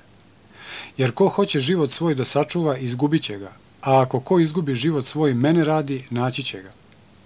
Jer kakva je korist čovjeku ako sav svijet zadobije, a duši svoj naudi? Ili kakav će otkup dati čovjek za dušu svoju? Jer će doći sin čovječiju slavi oca svojega sa anđelima svojim i tada će uzvratiti svakome po dijelima njegovim. Zaista vam kažem, ima nekih među vama što stoje ovdje koji neće okusiti smrti dok ne vide sina čovječijega gdje dolazi u carstvu svome. Glava 17. Preobraženje Hristovo, isjeljenje bjesomučnog dječaka, moć vjere. Drugo predskazivanje stradanja, smrti i vaskrsenja, porez hramu. I poslije šest dana uze Isus Petra i Jakova i Jovana, brata njegova, i izvede ih na goru visoku same. I preobrazi se pred njima i zasija se lice njegovo kao sunce, a haljine njegove postadoše bijele kao svjetlost. I gle, javiše im se Mojse i Ilija koji s njim govorahu. A Petar odgovarajući reče Isusu, Gospode, dobro nam je ovdje biti. Ako hoćeš da načinimo ovdje tri sjenice, tebi jednu i Mojseju jednu i jednu Iliji. Dok on još govoraše, gle, oblak sjajan zaklonih i gle, glas iz oblaka koji govori. Ovo je sin moj ljubljeni, koji je po mojoj volji, njega slušajte. I čuvši učenici padoše ničice i uplašiše se veoma. I pristupivši Isus dohvati ih se i reče, ustanite i ne bojte se. A oni, podignuši oči svoje, nikoga ne vidješe do Isusa sama. I kada silažahu sa gore, zapovjedi im Isus govoreći, nikom ne kazujte što ste vidjeli dok sin čovječi iz mrtvih ne vaskrsne. I zapitaše ga učenici njegovi govoreći, zašto dakle književnici kažu da Ilija najprije treba da dođe? A Isus odgovarajući reče im, Ilija će zaista doći najprije i urediti sve, ali kaže vam da je Ilija već došao i ne poznaše ga, nego učiniše s njime što htjedoše. Tako će i sin čovječiji postradati od njih. Tada razumješe učenici da im reče za Jovana Krstitelja. I kada dođeše narodu, pristupi mu čovjek i pade na koljena pred njim govoreći, Gospode, pomiluj sina mojega jer je mjesečar i muči se ljuto, jer mnogo puta pada u vatru i mnogo puta u vodu. I dovedo ga učenicima tvojim i ne mogoše ga iscijeliti. A Isus odgovarajući reče, O rode nevjerni i pokvareni, dokle ću biti s vama, dokle ću vas trpljeti, dovedite mi ga amo. I zaprijeti mu Isus i demon iziđe iz njega i ozdravi momče od onoga časa. Tada pristupiše učenici Isusu i nasamo mu rekoše, zašto ga mi ne mogo smo izgnati? A Isus im reče, za nevjerovanje vaše, jer zaista vam kažem, ako imate vjeru koliko zrno gorušičino, reći ćete gori ovoj, pređi odavde tamo i preći će, i ništa vam neće biti nemoguće. A ovaj se rod ne izgoni osim molitvom i postom. A kada su hodili po Galileji, reče im Isus, sin čovječiji bit će predan u ruke ljudske. I ubiće ga i treći dan ustaće i veoma se ožalostiše. A kada dođeš u Kapernaum, pristupiše Petru oni što kupe didrahme i rekoše, zar učitelj vaš ne daje didrahme? Petar reče, daje. I kad uđe u kuću, preteče ga Isus govoreći, šta misliš Simone, carevi zemaljski, od koga uzimaju porez ili carinu? Od svojih sinova ili od tuđih? Reče mu Petar, od tuđih. Reče mu Isus, znači sinovi su oslobođeni, ali da ih ne sablaznimo, idi na more i baci udicu i koju ribu prvo uhvatiš uzmije i kad joj otvoriš usta naći ćeš statir, uzmi ga te im podaj za mene i za sebe. Glava 18. Najveći u carstvu nebeskom, o sablazni, priča o izgubljenoj ovci, crkveni način ispravljanja bližnjeg, moć apostolske vlasti, o zajedničkoj molitvi i praštanju, priča o nemilosrdnom slugi. U onaj čas pristupiše učenici Isusu govoreći, ko je dakle najveći u carstvu nebeskome? I dozve Isus dijete i postavi ga među njih. I reče, zaista vam kažem, ako se ne obratite i ne budete kao djeca, nećete ući u carstvo nebesko. Koji se dakle ponizi kao dijete ovo, onaj je najveći u carstvu nebeskom. I koji primi jedno takvo dijete u ime moje, mene prima. A koji sablazni jednoga od ovih malih koji vjeruju u mene, bolje bi mu bilo da se objesi kamen vodenički o vrat njegov i da potone u dubinu morsku. Teško svijetu od sablazni, jer potrebno je da dođu sablazni, ali teško čovjeku onom kroz koga dolazi sablazan. Ako li te ruka tvoja ili noga tvoja sablažnjava, osjeci je i baci od sebe. Bolje ti je ući u život hromu ili kljastu, nego da imaš dvije ruke ili dvije noge, a da te bace u oganj vječni. I ako te oko tvoje sablažnjava, izvadi ga i baci od sebe bolje ti je s jednim okom u život ući nego da imaš dva oka, a da te bace u pakao ognjeni. Gledajte da ne prezrete jednog od malih ovih, jer vam kažem da anđeli njihovi na nebesima stalno gledaju lice Otca moga nebeskoga. Jer sin čovječiji dođe da spase izgubljeno. Šta vam se čini? Ako neki čovjek ima sto ovaca, pa zaluta jedna od njih, ne ostavi li 99 u planini i ide da traži onu zalutalu? I ako se dogodi da je nađe, zaista vam kažem da se njoj raduje više nego onim 99 što nisu zalutale. Tako nije volja Oca vašega nebeskoga da propadne jedan od ovih malih. Ako li ti zgriješi brat tvoj, idi i pokaraj ga nasamo, ako te posluša, dobio si brata svojega. Ako li te ne posluša, uzmi sa sobom još jednoga ili dvojicu, da na ustima dva ili tri svjedoka ostane svaka riječ. Ako li njih ne posluša, kaži crkvi. A ako li ne poslušani crku, neka ti bude kao neznabožac i carinik. Zaista vam kažem, što god svežete na zemlji, bit će svezano na nebu. I što god razriješite na zemlji, bit će razriješeno na nebu. Opet vam zaista kažem, ako se dva od vas slože na zemlji u bilo kojoj stvari za koju se uzmole, daće im otac moj koji je na nebesima. Jer gdje su dva ili tri sabrane u ime moje, ondje sam i ja među njima.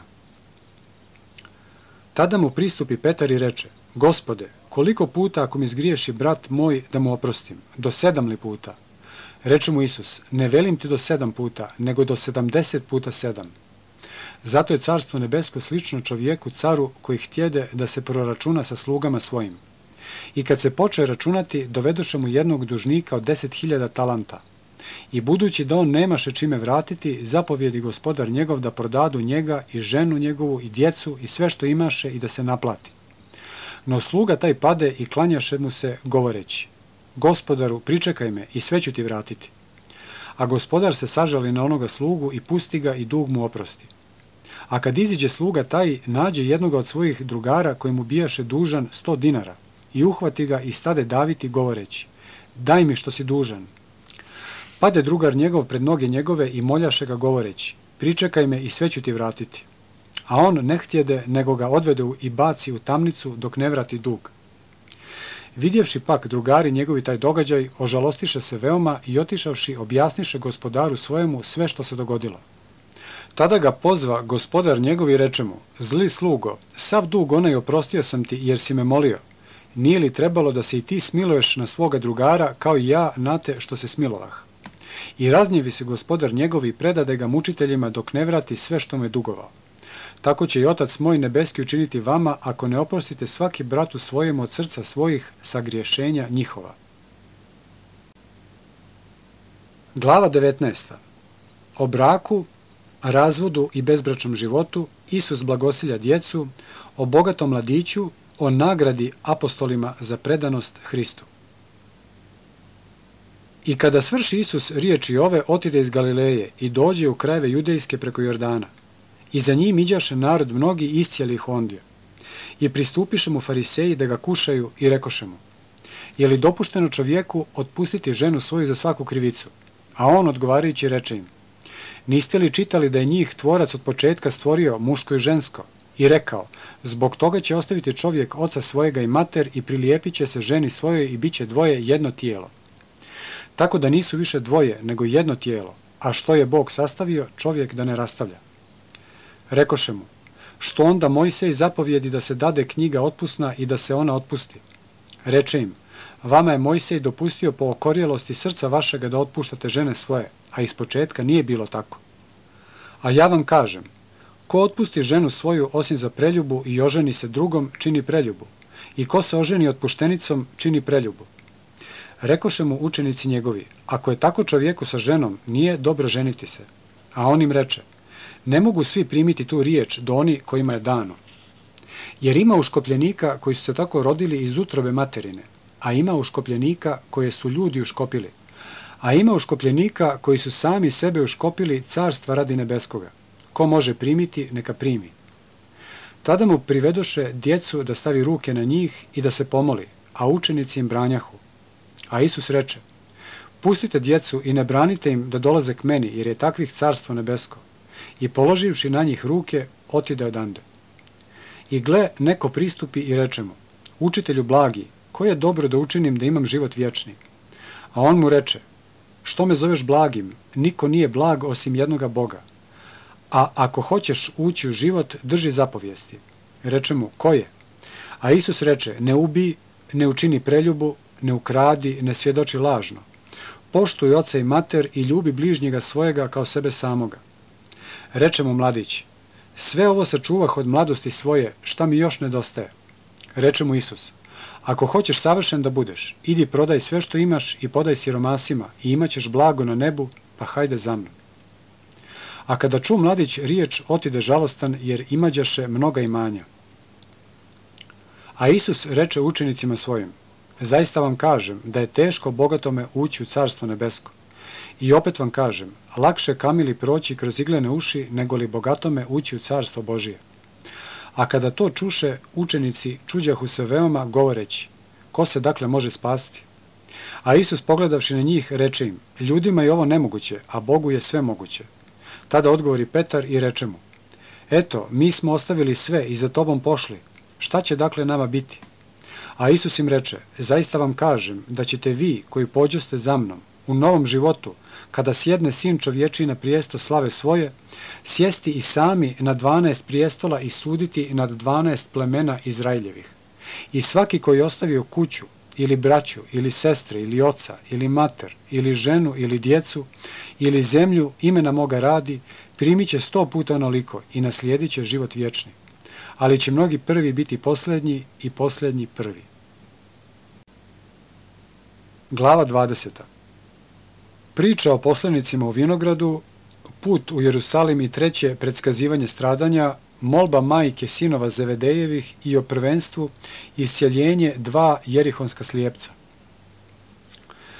Jer je carstvo nebesko slično čovjeku domaćinu koji ujutru rano iziđe da najmi poslenike u vinograd svoj i pogodivši se s poslenicima po dinar na dan, posla ih u vinograd svoj.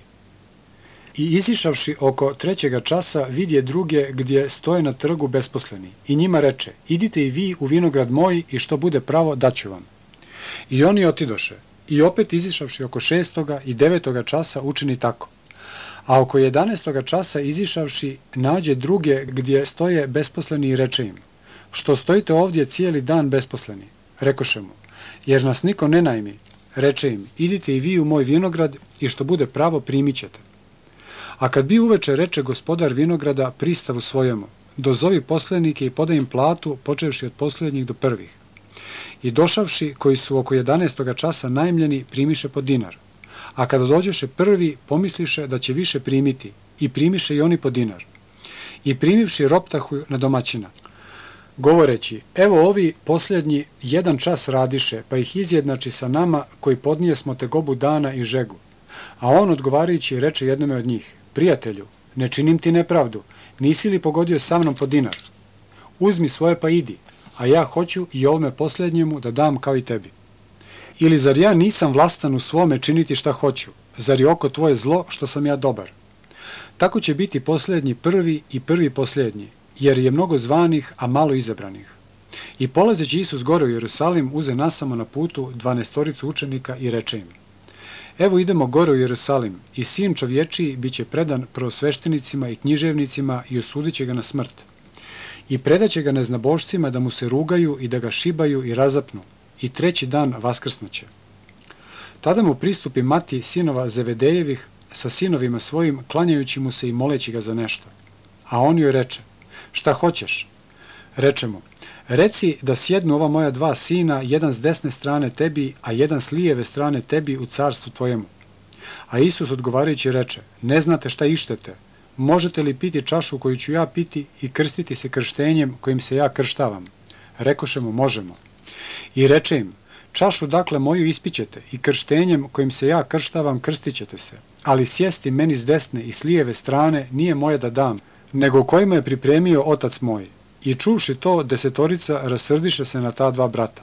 A Isus, dozvavši ih, reče, znate da knezovi naroda gospodare njima i velikaši vladaju nad njima, da ne bude tako među vama, nego koji hoće da bude veliki među vama, neka vam bude služitelj. I koji hoće među vama da bude prvi, neka vam bude sluga. Kao što ni sin čovječiji nije došao da mu služe, nego da služi i da dade život svoj u otkup za mnoge. I kad oni izlažahu iz Jerihona, za njim pođe narod mnogi. I gle, dva slijepca sjeđahu kraj puta i čuvši da Isus prolazi, povikaše govoreći, pomilu nas, gospode, sine Davidov. A narod im prijećaše da učute.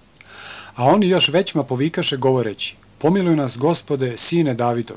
I stavši Isus dozva ih i reče, šta hoćete da vam učinim? Rekošemo, gospode, da se otvore oči naše. I smilova se Isus i dotače se očiju njihovih i odmah progledaše oči njihove i otidoše za njim. Glava 21. Hristov ulazak u Jerusalim, izgon trgovaca iz hrama, neplodna smokva, o vlasti Hristovoj, priča o dvojici sinova i o zlim vinogradarima, o ugaonom kamenu. I kada se približiše Jerusalimu i dođeš u Vitfagu prema Maslinskoj gori, onda Isus posla dva učenika, govoreći im, idite u selo što je prema vama i odmah ćete naći magaricu privezanu i magare s njom, odriješite i dovedite mi. I ako vam ko reče što, kažite da oni trebaju gospodu i odmah će ih poslati. A ovo je sve bilo da se ispuni što je kazano preko proroka koji govori. Kažite kćeri Sionovoj, evo car tvoj ide tebi krotak i jaše na magarici i magaretu mladunčetu tovarne životinje. A učenici otidoše i učiniše kako im zapovjedi Isus. Dovedoše magaricu i magare i metnoše na njih haljene svoje i usjede na njih. A narod, veoma mnogi, prostiraše haljene svoje po putu, a drugi rezahu granje od drveća i prostirahu po putu. A narod koji iđaše pred njim i za njim vikaše govoreći, Osana, sinu Davidovu, blagosloven koji dolazi u ime gospodnje, Osana na visini.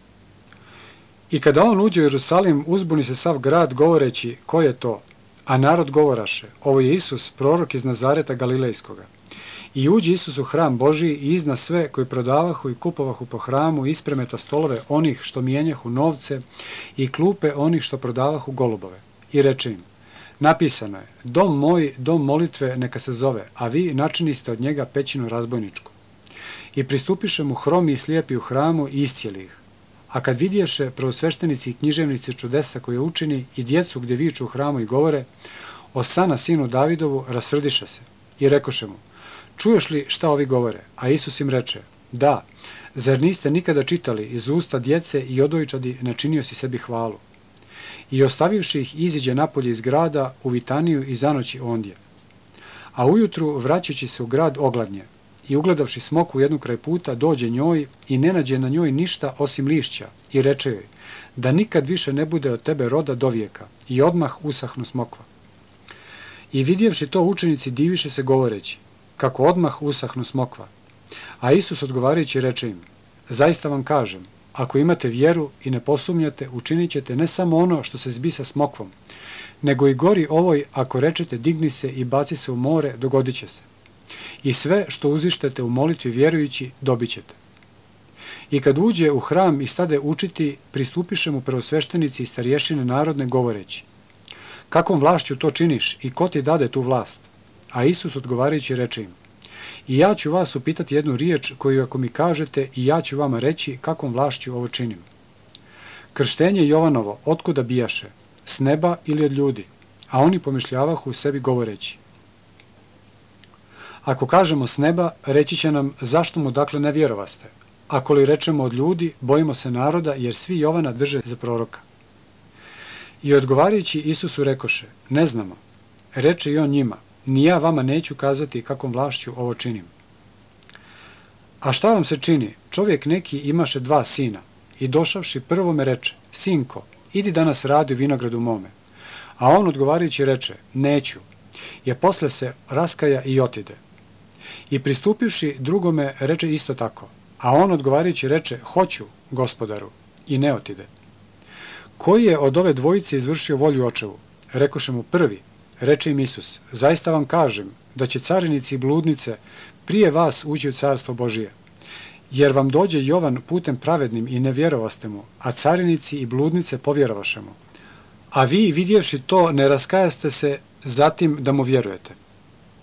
Drugu priču čujte. Bijaše čovjek domaćin koji posade vinograd i ogradi ga plotom i iskopa u njemu pivnicu i sagradi kulu i dade ga vinogradarima i otide. A kada se približi vrijeme berbe, posla sluge svoje vinogradarima da prime plodove njegove. I vinogradari, pohvatavši sluge njegove, jednoga izbiše, a jednoga ubiše, a jednog kamenjem zasuše. Opet posla druge sluge više nego prije i učiniše im isto tako. A najzad posla im sina svojega govoreći, postidjeće se sina mojega, a vinogradari vidjevši sina rekoše među sobom, ovo je nasljednik, hodite da ga ubijemo i da prisvojimo nasljedstvo njegovo i uhvatiše ga, pa izvedoše napolje iz vinograda i ubiše. Kada dakle dođe gospodar vinograda, šta će učiniti vinogradarima onim? Rekoše mu, zločince će zlom smrću pogubiti, a vinograd će dati drugim vinogradarima koji će mu davati plodove u svoje vrijeme. Reče im Isus, zar niste nikad čitali u pismu, kamen koji odbaciš zidari, taj postade glava od ugla. To bi od gospoda i divno je u očima našim. Zato vam kažem da će se od vas uzeti carstvo Božije i da će se narodu koji donosi plodove njegove. I ko padne na ovaj kamen razbiće se, a na koga on padne satrće ga. I čuvši prvosveštenici fariseji priče njegove razumješe da o njima govori. I nastojeći da ga uhvate, pobojaše se naroda jer ga držahu za proroka. Glava 22. Priča o svadbi careva sina, Bogu Božije, caru carevo, o vaskrsenju mrtvih, o najvećoj zapovijesti, Hristos, Davidov sin i gospod. I odgovarajući Isus opet im reče, u pričama govoreći, Carstvo nebesko je kao čovjek car koji načini svadbu sinu svome i posla sluge svoje da zovu zvanice na svadbu i ne htjedoše doći. Opet posla druge sluge govoreći, kažite zvanicama, evo sam objed svoju gotovio, junci moji i hranjenici poklani su i sve je gotovo, dođite na svadbu. A oni nemarivši otidoše ovaj u polje svoje, a ovaj u trgovinu svoju. A ostali uhvatiše sluge njegove, izružiše ih i pobiše. I kada to ču car onaj, raznjevi se i poslavši vojsku svoju, pogubi krvnike one i grad njihov zapali. Tada reče slugama svojim, svadba je gotova, a zvanice ne bijehu dostojne. Idite dakle na raskršća i koga god nađete, pozovite na svadbu. I izišavši sluge one na puteve, sabraše sve koje nađoše, i zle i dobre, i napuni se svadbena dvorana gostiju. A ušavši car da vidi goste, ugleda ondje čovjeka neobučena u svadbeno ruho. I reče mu, prijatelju, kako si ušao amo bez svadbenog ruha? A on očuta. Tada reče car slugama, svežite mu ruke i noge, pa ga uzmite i bacite u tamo najkrajnju, ondje će biti plač i škrgut zuba. Jer su mnogi zvani, ali je malo izabranih. Tada otidoše fariseji i na vijećanju se dogovoriše kako bi ga uhvatili u riječi. I poslaše k njemu učenike svoje sa irodovcima govoreći. Učitelju, znamo da si istinit i putu Božijemu zaista učiš i ne obazireš se ni na koga jer ne gledaš ko je ko od ljudi. Kaži nam dakle šta ti misliš? Treba li dati porez Česaru ili ne? Razumijevši Isus lukavstvo njihovo reče, što me kušate licemjeri, pokažite mi novac porezni. A oni mu donesoše dinar i reče im, čije je ovaj lik i natpis? Rekoše mu Česarev. Tada im reče, podajte dakle Česarevu Česaru i Božije Bogu. I čuvši, zadiviše se i ostavivši ga otidoše. U taj isti dan pristupiše mu sadokeji koji govore da nema vaskrsenja i upitaše ga. Govoreći, učitelju, moj se i reče, ako umre ko bez djece, da uzme brat njegov ženu njegovu i podigne sjeme bratu svome.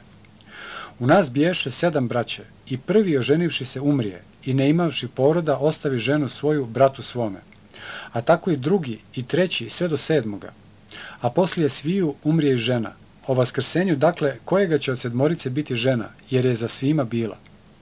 A Isus odgovarajući reče im, varate se, ne znajući pisma ni sile Božije jer o vaskrsenju niti se žene, niti udaju, nego su kao anđeli Božiji na nebu. A za vaskrsenje mrtvih niste li čitali šta vam je rekao Bog govoreći? Ja sam Bog Avramov i Bog Isakov i Bog Jakovljev. Bog nije Bog mrtvih, nego živih. I narod čuvši divljaše se nauci njegovoj, a fariseji čuvši da učetka sadukeje, sabraše se zajedno. I upita jedan od njih, zakonik, kušajući ga i govoreći, Učitelju, koja je zapovijest najveća u zakonu? A Isus mu reče, ljubi gospoda Boga svojega svim srcem svojim i svom dušom svojom i svim umom svojim. Ovo je prva i najveća zapovijest. A druga je kao i ova, ljubi bližnjega svoga kao samoga sebe. O ovim dvijema zapovestima visi sav zakon i proroci. A kada se sabraše fariseji, upite ih Isus. Govoreći, šta mislite za Hrista, čiji je sin, rekoše mu, Davidov. Reče im, kako dakle David njega u duhu naziva gospodom govoreći? Reče gospod gospodu mojemu, sjedi meni s desne strane dok položim neprijatelje tvoje za podnožje nogama tvojim. Kada dakle David naziva njega gospodom, kako mu je sin? I nikomu ne mogaše odgovoriti ni riječ, niti smjede ko od toga dana da ga zapita više. Glava 23. Isusova osuda licemjerja književnika i fariseja, žalost nad Jerusalimom. Tada Isus reče narodu i učenicima svojim, govoreći, Na Mojsejevu stolicu sjedoše književnici i fariseji, sve dakle što vam kažu da držite, držite i tvorite, ali po dijelima njihovim ne postupajte, jer govore, a ne tvore. Nego vezuju bremena teška i nezgodna za nošenje i tovare na pleća ljudska, a prstom svojim neće da ih pomaknu. A sva dijela svoja čine da ih vide ljudi, jer proširuju amajlije svoje i prave velike skute na haljenama svojim. I vole začelja na gozbama i prva mjesta po sinagogama. I da im se klanja po trgovima i da ih ljudi zovu učitelju. A vi se nazovite učitelji, jer je u vas jedan učitelj, Hristos, a vi ste svi braća. I ocem svojim nazovite nikoga na zemlji, jer je u vas jedan otac koji je na nebesima. Niti se zovite nastavnici, jer je u vas jedan nastavnik, Hristos. A najveći između vas da vam bude sluga, jer koji se uzdiže, ponizit će se, a koji se ponizi, uzvisit će se. Teško vama, književnici, fariseji, licemjeri, što zatvarate carstvo nebesko pred ljudima, jer vi ne ulazite niti puštate da uđu oni koji bi htjeli. Teško vama, književnici, fariseji, licemjeri, što jedete kuće udovičke i lažno se molite dugo. Zato ćete većma biti osuđeni. Teško vama, književnici, fariseji, licemjeri, što prehodite more i kopno da biste dobili jednoga sljedbenika i kad ga pridobijete, činite ga sinom pakla dvostruko većim od sebe. Teško vama vođi slijepi koji govorite, ako se ko kune hramom, to nije ništa, ako se kune zlatom hramovnim, kriv je. Bezumnici slijepci, jer šta je veće, zlato ili hram koji zlato osvećuje? I ako se ko kune žrtvenikom, ništa je to, a koji se kune darom na njemu, kriv je. Bezumnici i slijepci, jer šta je veće, dar ili žrtvenik koji dar osvećuje? Koji se dakle kune žrtvenikom, kune se njim i svim što je na njemu, i koji se kune hramom, kune se njim i onim koji obitava u njemu. A koji se kune nebom, kune se prijestolom Božijim i onim koji sjede na njemu. Teško vama, književnici, fariseji, licemjeri, što dajete desetak od metvice i od kopre i od kima, a ostaviste što je pretežnije u zakonu, pravdu i milost i vjeru, a ovo je trebalo činiti i ono ne ostavljati. Vođi slijepi koji ocijeđujete komarca, a kamilo proždirete. Teško vama, književnici, fariseji, licemjeri, što čistite s polja čašu iz dijelu, a iznutra su puni grabeže nepravde. Fariseju slijepi, očisti najprije iznutra čašu iz dijelu da budu iz polja čiste. Teško vama, književnici, fariseji, licemjeri, što ste kao okrečeni grobovi koji s polja izgledaju lijepi, a unutra su puni kostiju mrtvačkih i svake nečistote. Tako i vi, s polja se pokazujete ljudima pravedni, a iznutra ste puni licemjerja i bezakonja. Teško vama, književnici, fariseji, licemjeri, što zidate grobove prorocima i krasite spomenike pravednika i govorite. Da smo mi bili u vrijeme otaca svojih, ne bismo s njima pristali u krv proroka. Time sami svjedočite za sebe da ste sinovi onih koji su pobili proroke. Ispunite i vi mjeru otaca vaših. Zmije, porodi jaspidini, kako ćete pobjeći od osude za pakao?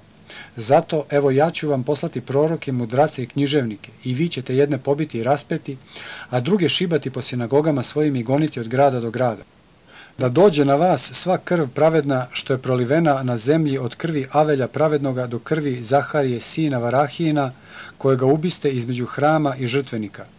Zaista vam kažem da će sve ovo doći na rod ovaj, Jerusalime, Jerusalime, koji ubijaš prorok i zasipaš kamenjem poslanek tebi, koliko puta htjedog da saberem čeda tvoja, kao što kokoš skuplja piliće svoje pod krila i ne htjedoste. Eto će vam se ostaviti kuća vaša pusta, jer vam kažem, nećete me od sada vidjeti dok ne rečete, blagosloven koji dolazi u ime gospodnje. Glava 24. O razorenju Jerusalima ponovnom dolasku Hrista, svršetku vijeka i o potrebi budnosti. I izišavši Isus, iđaše od hrama i pristupiše mu učenici njegovi da mu pokažu građevine hrama. A Isus im reče, ne vidite li sve ovo, zaista vam kažem, neće ostati ovdje ni kamen na kamenu koji se neće razmetnuti. A kada sjeđaše na gori Maslinskoj, pristupiše mu učenici nasamo govoreći, kaži nam, kad će to biti i kakav je znak tvojega dolaska i svršetka vijeka? I odgovarajući Isus reče im, čuvajte se da vas ko ne prevari, jer će mnogi doći u ime moje govoreći, ja sam Hristos i mnoge će prevariti. Čućete ratove i glasove o ratovima, gledajte da se ne uplašite, jer treba sve to da se zbude, ali još nije kraj. Jer će ustati narod na narod i carstvo na carstvo i bit će gladi i pomora i zemljotresa po svijetu. A to je sve početak stradanja. Tada će vas predati na muke i pobiće vas i svi će vas narodi omrznuti zbog imena moga. I tada će se mnogi sablazniti, izdaće jedan drugoga i omrznuće jedan drugoga. I izići će mnogi lažni proroci i prevarit će mnogi.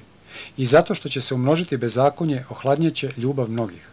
Ali ko pretrpi do kraja, taj će se spasti. I propovjedat će se ovo evanđelje o carstvu po svemu svijetu za svjedočanstvo svim narodima. I tada će doći kraj. Kada dakle ugledate gnu sobu opustošenja o kojoj govori prorok Danilo, gdje stoji na mjestu svetome, ko čita da razumije, tada koji budu judeji neka bježu gore i koji bude na krovu da ne silazi da uzme što mu je u kući i koji bude u polju da se ne vraća natrag da uzme haljene svoje. A teško trudnicama i dojiljama u te dane, nego se molite Bogu da ne bude bježanje vaše u zimu ni u subotu, jer će tada biti nevolja velika kakva nije bila od postanka svijeta do sada, niti će biti. Iako se ne bi skratili dan i oni, niko ne bi ostao, ali izabranih radi skratit će se dan i oni. Tada ako vam ko reče, evo ovdje je Hristos ili ondje, ne vjerujte, jer će se pojaviti lažni Hristosi i lažni proroci i pokazat će znake velike i čudesa da bi prevarili ako bude moguće izabrane. Eto vam kazah naprijed. Ako vam dakle kažu, evo ga u pustinji, ne izlazite, evo ga u sobama, ne vjerujte. Jer kao što munje izlazi od istoka i sine do zapada, tako će biti i dolazak sina čovječijega. Jer gdje je trup, ondje će se i orlovi skupiti.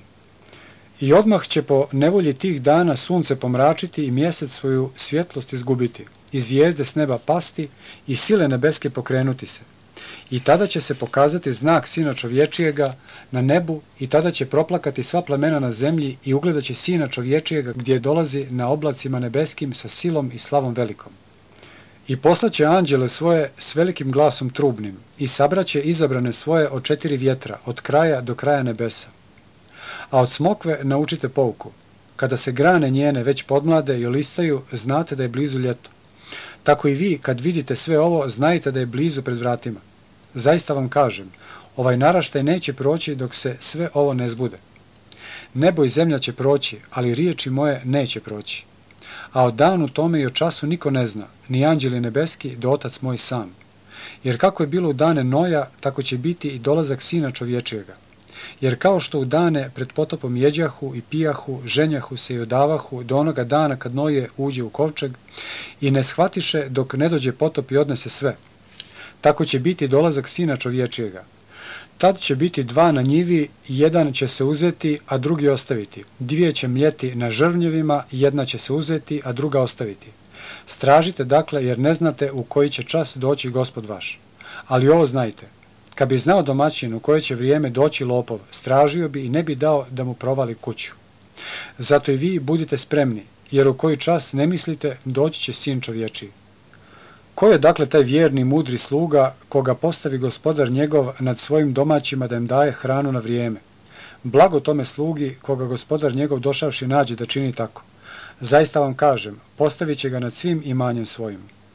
Ako li taj rđavi sluga reče u srcu svome, neće moj gospodar još zadugo doći i počne tući drugove svoje i jesti i piti s pijanicama, doći će gospodar toga sluge u dan kad se ne nada i u čas kad ne misli i rasjeći će ga napola, i daće mu udio sa licemjerima, ondje će biti plač i škrgu zuba.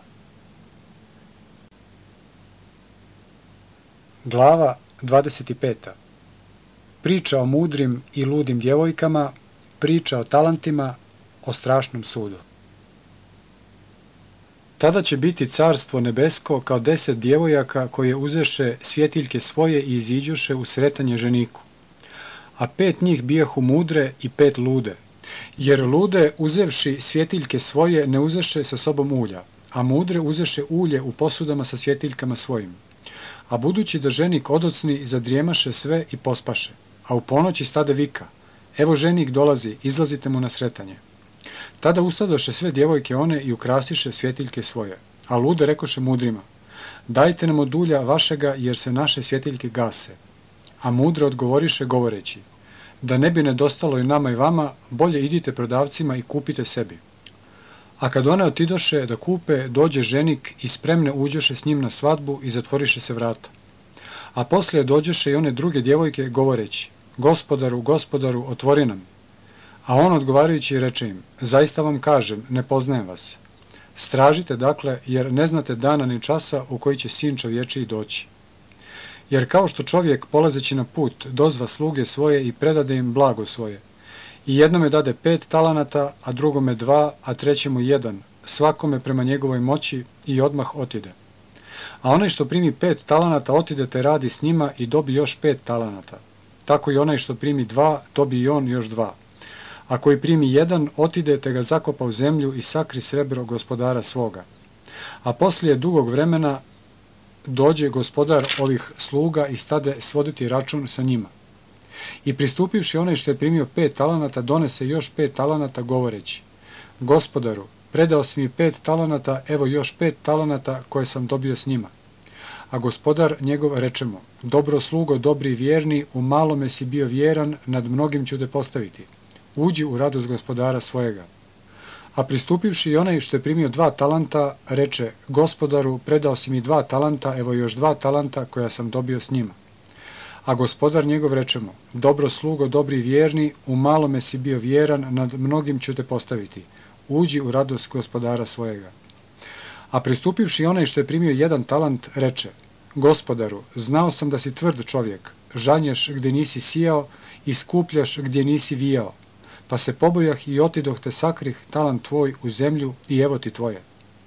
A gospodar njegov odgovarajući reče mu, zli i lijeni slugo, znao si da žanjem gdje nisam sijao i skupljem gdje nisam vijao. Trebalo je zato moje srebro da daš mjenjačima i došavši ja bih uzeo svoje sa dobitkom. Uzmite dakle od njega talant i podajte onome što ima deset talanata. Jer svakome koji ima daće se i preteći ćemo, a od onoga koji nema i što ima uzeće se od njega.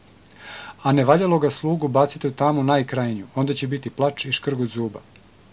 A kada dođe sin čovječiji u slavi svojoj i svi sveti anđeli sa njim, tada će sjesti na prijesto slave svoje. I sabraće se pred njim svi narodi i razlučit će ih jedne od drugih kao pastir što razlučuje ovce od jaradi. I postavit će ovce sa desne strane sebi, a jarad s lijeve. Tada će reći car onima što mu stoje sa desne strane. Hodite blagosloveni, oca mojega, primite carstvo koje vam je pripremljeno od postanja svijeta jer ogladnjeh i dadoste mi da jedem, ožednjeh i napojiste me, stranac bijah i primiste me. Nag bijah i odjenuste me, bolestan bijah i posjetiste me, u tamnici bijah i dođoste mi.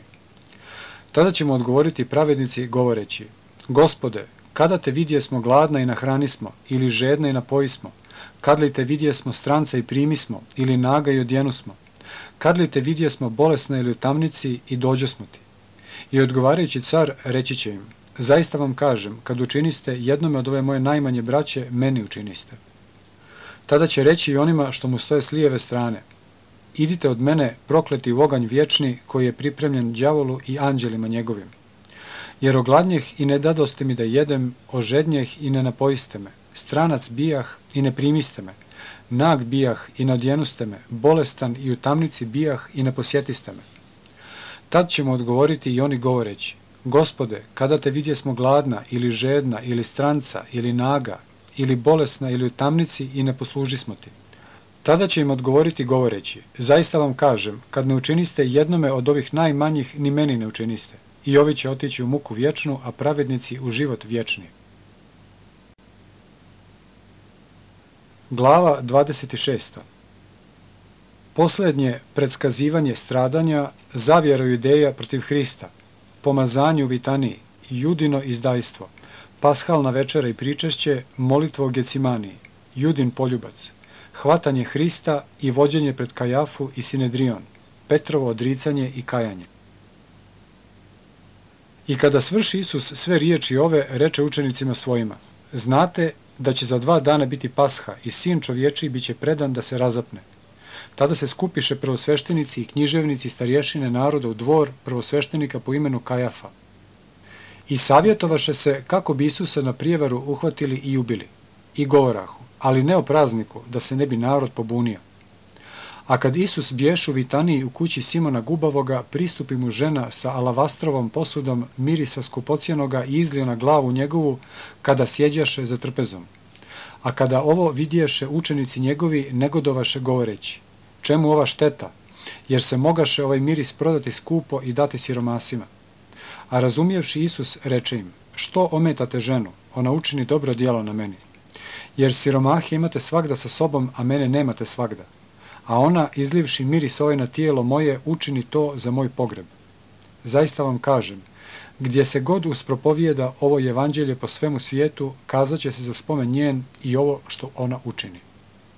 Tada jedan od dvanestorice po imenu Juda Iskariotski otide prvosveštenicima i reče Šta ćete mi dati i ja ću vam ga izdati? A oni mu položiše 30 srebrnika. I od tada tražaše zgodno vrijeme da ga izda, a u prvi dan beskvasnih hljebova pristupiše učenici Isusu govoreći mu Gdje hoćeš da ti ugotovimo da jedeš pasho? A on reče, idite u grad tome i tome i kažite mu, učitelj kaže, vrijeme je moje blizu, ko tebe ću da učinim pashu sa učenicima svojim. I učenici učiniše kako im zapovjedi Isus i ugotoviše pashu.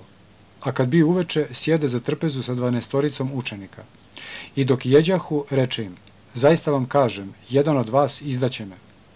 I ožalostivši se veoma, poče mu svaki od njih govoriti, da nisam ja, gospode, A on odgovarajući reče, koji umoči sa mnom ruku s dijelu, taj će me izdati. Sin čovječiji dakle ide kao što je pisano za njega, ali teško onome čovjeku koji izda sina čovječijeg. Bolje bi mu bilo da se nije rodio taj čovjek. A Juda, izdajnik njegov, odgovarajući reče, da nisam ja učitelju, reče mu, ti kaza. I kad jeđahu uze Isus hljeb i blagoslovivši prelomi ga i davaše učenicima i reče, uzmite, jedite, ovo je tijelo moje i uze čašu i zablagodarivši dade im govoreći, pite iz nje svi, jer je ovo krv moja novoga zavjeta koja se prolijeva za mnoge radi otpuštenja grijehova. Kaže vam pak da od sada neću piti ovoga roda vinogradskoga do onog dana kad ću piti s vama novoga u carstvu oca mojega. I otpojavši hvalu, iziđoše na goru Maslinsku. Tada im reče Isus, svi ćete se vi sablazniti o mene ovu noć, jer u pismu stoji, udarit ću pastira i ovce stada razbijeći će se, a po vaskrsenju svome otići ću pred vama u Galileju. A Petar odgovorivši reče mu, ako se i svi sablazne od tebe, ja se neću nikad sablazniti. Reče mu Isus, zaista ti kažem, noćas prije nego pijeta zapjeva, tri puta ćeš me se odreći. Reče mu Petar, neću te se odreći, makar morao i umrijeti s tobom. Tako rekoše i svi učenici. Tada Isus dođe sa njima u mjesto koje se zove Gecimanija i reče učenicima, sjedite tu dok ja odem tamo da se pomolim Bogu. I uzevši Petra i oba sina Zevedejeva, poče se žalostiti i tugovati. Tada im reče Isus, žalostna je duša moja do smrti, ostanite ovdje i bdite sa mnom. I otišavši malo pade na lice svoje, moleći se i govoreći, Oče moj, ako je moguće, neka me mi mojiđe čaša ova, ali opet ne kako ja hoću, nego kako ti. I došavši učenicima, nađi ih gdje spavaju i reče Petru, Zar ne mogo ste jedan čas probdijeti sa mnom? Bdite i molite se da ne padnete u napast, jer je duh srčan, ali je tijelo slabo. Opet i drugi put otide i pomoli se govoreći. Oče moj, ako ne može da me mimoiđe ova čaša, da je ne pijem, neka bude volja tvoja. I došavši nađi ih opet gdje spavaju, jer im bijahu oči otežala. I ostavivši ih, otide opet te se treći put pomoli govoreći one iste riječi. Tada dođe učenicima svojim i reče im, još spavate i počivate, evo se približio čas i sin čovječiji predaje se u ruke grešnika. Ustanite, hajdemo, evo približio se izdajnik moj. I dok on još tako govoraše, gle Juda, jedan od dvanestorice dođe i sa njim ljudi mnogi s noževima i s koljem od prvosveštenika i starješina narodnih. A izdajnik njegov dade im znak govoreći, koga ja cijelivam, ona je, držite njega. I odmah pristupivši Isusu reče, zdravo učitelju i cijeliva ga.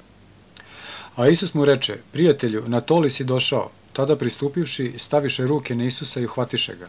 I gle, jedan od onih što bijahu sa Isusom, mašivši se rukom, izvadi nož svoj te udari slugu prvosveštenikova i odreza mu uho. Tada mu reče Isus, vrati nož svoj na mjesto njegovo, jer svi koji se maše za nož, od noža će poginuti. Ili misliš da ne mogu moliti sad oca svoga da mi pošalje više od 12 legiona anđela? Kako bi se dakle ispunila pisma da ovako treba da bude? U taj čas reče Isus ljudima, kao na razbojnika izišli ste s noževima i s koljem da me uhvatite, a svaki dan sam kod vas sjedio učeći u hramu i ne uhvatiste me. A ovo je sve bilo da se ispune pisma proročka. Tada ga svi učenici ostaviše i pobjegoše. A oni što uhvatiše Isusa odvedoše ga prosvešteniku Kajafi, gdje se književnici i starješine sabraše. A Petar iđaše za njim iz daleka do dvorišta prosveštenikova i ušavši unutra sjede sa slugama da vidi svršetak. A prvosveštenici i starješine i sav Sinedrion tražahu lažna svjedočanstva protiv Isusa da bi ga ubili. I ne nađoše. I premda mnogi lažni svjedoci dolaziše, ne nađoše. Najposlije dođeše dva lažna svjedoka i rekoše, on je kazao, ja mogu razvaliti hram Božiji i za tri dana sagraditi ga. I ustavši prvosveštenik reče mu, zar ništa ne odgovaraš što ovi protiv tebe svjedoče? A Isus ćutaše. I prvosveštenik odgovarajući reče mu, zaklinjem te živim Bogom da nam kažeš jesi li ti Hristos sin Božiji?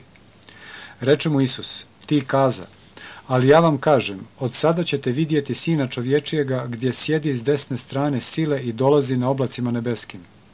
Tada prvosveštenik razdrije haljine svoje govoreći, huli na Boga, šta nam više trebaju svjedoci, evo sada čuste hulu njegovu, šta mislite? A oni odgovarajući rekoše, zaslužio je smrt. Tada mu popljuvaše lice i udarahu ga, a drugi ga bijahu po obrazima, govoreći, proreci nam, Hriste, ko te udari? A Petar sjeđaše napolju u dvorištu i pristupi mu jedna sluškinja, govoreći, i ti si bio sa Isusom Galilejcem, a on se odreče pred svima govoreći, ne znam šta govoriš. I kad iziđe k vratima, ugleda ga druga i reče onima što bijahu ondje. I ovaj biješe sa Isusom Nazarećaninom. I opet se odreče sa zakletvom, ne znam toga čovjeka.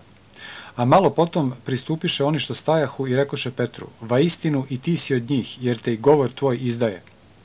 Tada se poče preklinjati i kleti da ne zna toga čovjeka i odmah zapjeva pijetao. I opomenu se Petar riječi Isusove što mu je rekao, dok pijetao ne zapjeva, tri puta ćeš mi se odreći. I izišavši napolje, plakaše gorko. Glava 27. Isus pred Pilatom, judino samoubistvo, puštanje varave i osuda Hrista, mučenje i raspeće, hula judejaca, smrt i pogreb Hrista, straža na grobu. A kada bi jutro učiniše vijeće svi prosveštenici starješine naroda protiv Isusa da ga pogube. I svezavši ga, odvedoše i predaše ga Ponti u Pilatu namjesniku. Tada vidjevši juda izdajnik njegov da ga osudiše, raskaja se i vrati 30 srebrnika prosveštenicima i starješinama, govoreći. Sagriješih što izdadoh krvu nevinu, a oni rekoše, šta mi marimo za to, ti ćeš vidjeti. I bacivši srebrnike u hram, iziđe i otide te se objesi. A prosveštenici uzevši srebrnike rekoše, ne valja ih metnuti u hramovnu riznicu jer su cijena za krv, nego se dogovoriše te kupiše za njih lončarevu njivu za groblje strancima. Zato se ta njiva prozva krvna njiva do danas. Tada se ispuni što je kazano preko proroka Jeremije koji govori i uzeše 30 srebrnika cijenu cijenjenoga koga su cijenili sinovi Izraeljevi i dadoše ih za njivu lončarevu kao što mi kaza gospod. A Isus stade pred namjesnikom i zapita ga namjesnik govoreći, jesi li ti car judejski? A Isus mu reče, ti kažeš. I kad ga tužahu, prosveštenici starješine ništa ne odgovori. Tada mu reče Pilat, zar ne čuješ koliko protiv tebe svjedoče? I ne odgovori mu ni na jednu riječ, tako da se namjesnik divljaše veoma. A o prazniku bijaše običaj u namjesnika da narodu pusti po jednoga sužnja koga oni hoće. Tada imahu poznatoga sužnja po imenu Varavu i kada se sabraše, reče im Pilat, koga hoćete da vam pustim, Varavu ili Isusa nazvanoga Hrista? Jer znađaše da su ga iz zavisti predali. A kada sjeđaš u sudu, poruči mu žena njegova govoreći, ne miješaj se ti ništa u sud toga pravednika, jer danas u snu mnogo postradah zbog njega. A prvosveštenici i starješine nagovoriše narod da ište Varavu, a Isusa da pogube a namjesnik odgovarajući reče im, koga hoćete od ove dvojice da vam pustim? A oni rekoše, Varavu. Reče im Pilat, šta da činim sa Isusom nazvanim Hristom? Rekoše mu svi, da se razapne. Namjesnik pak reče, a kako je zlo učinio? A oni iz glasa povikaše govoreći, da se razapne. A kad vidje Pilat da ništa ne pomaže, nego još veća buna biva, uze vodu te umi ruke pred narodom govoreći, ja sam nevin u krvi ovoga pravednika, vi ćete vidjeti i odgovarajući sav narod reče, krv njegova na nas i na djecu našu.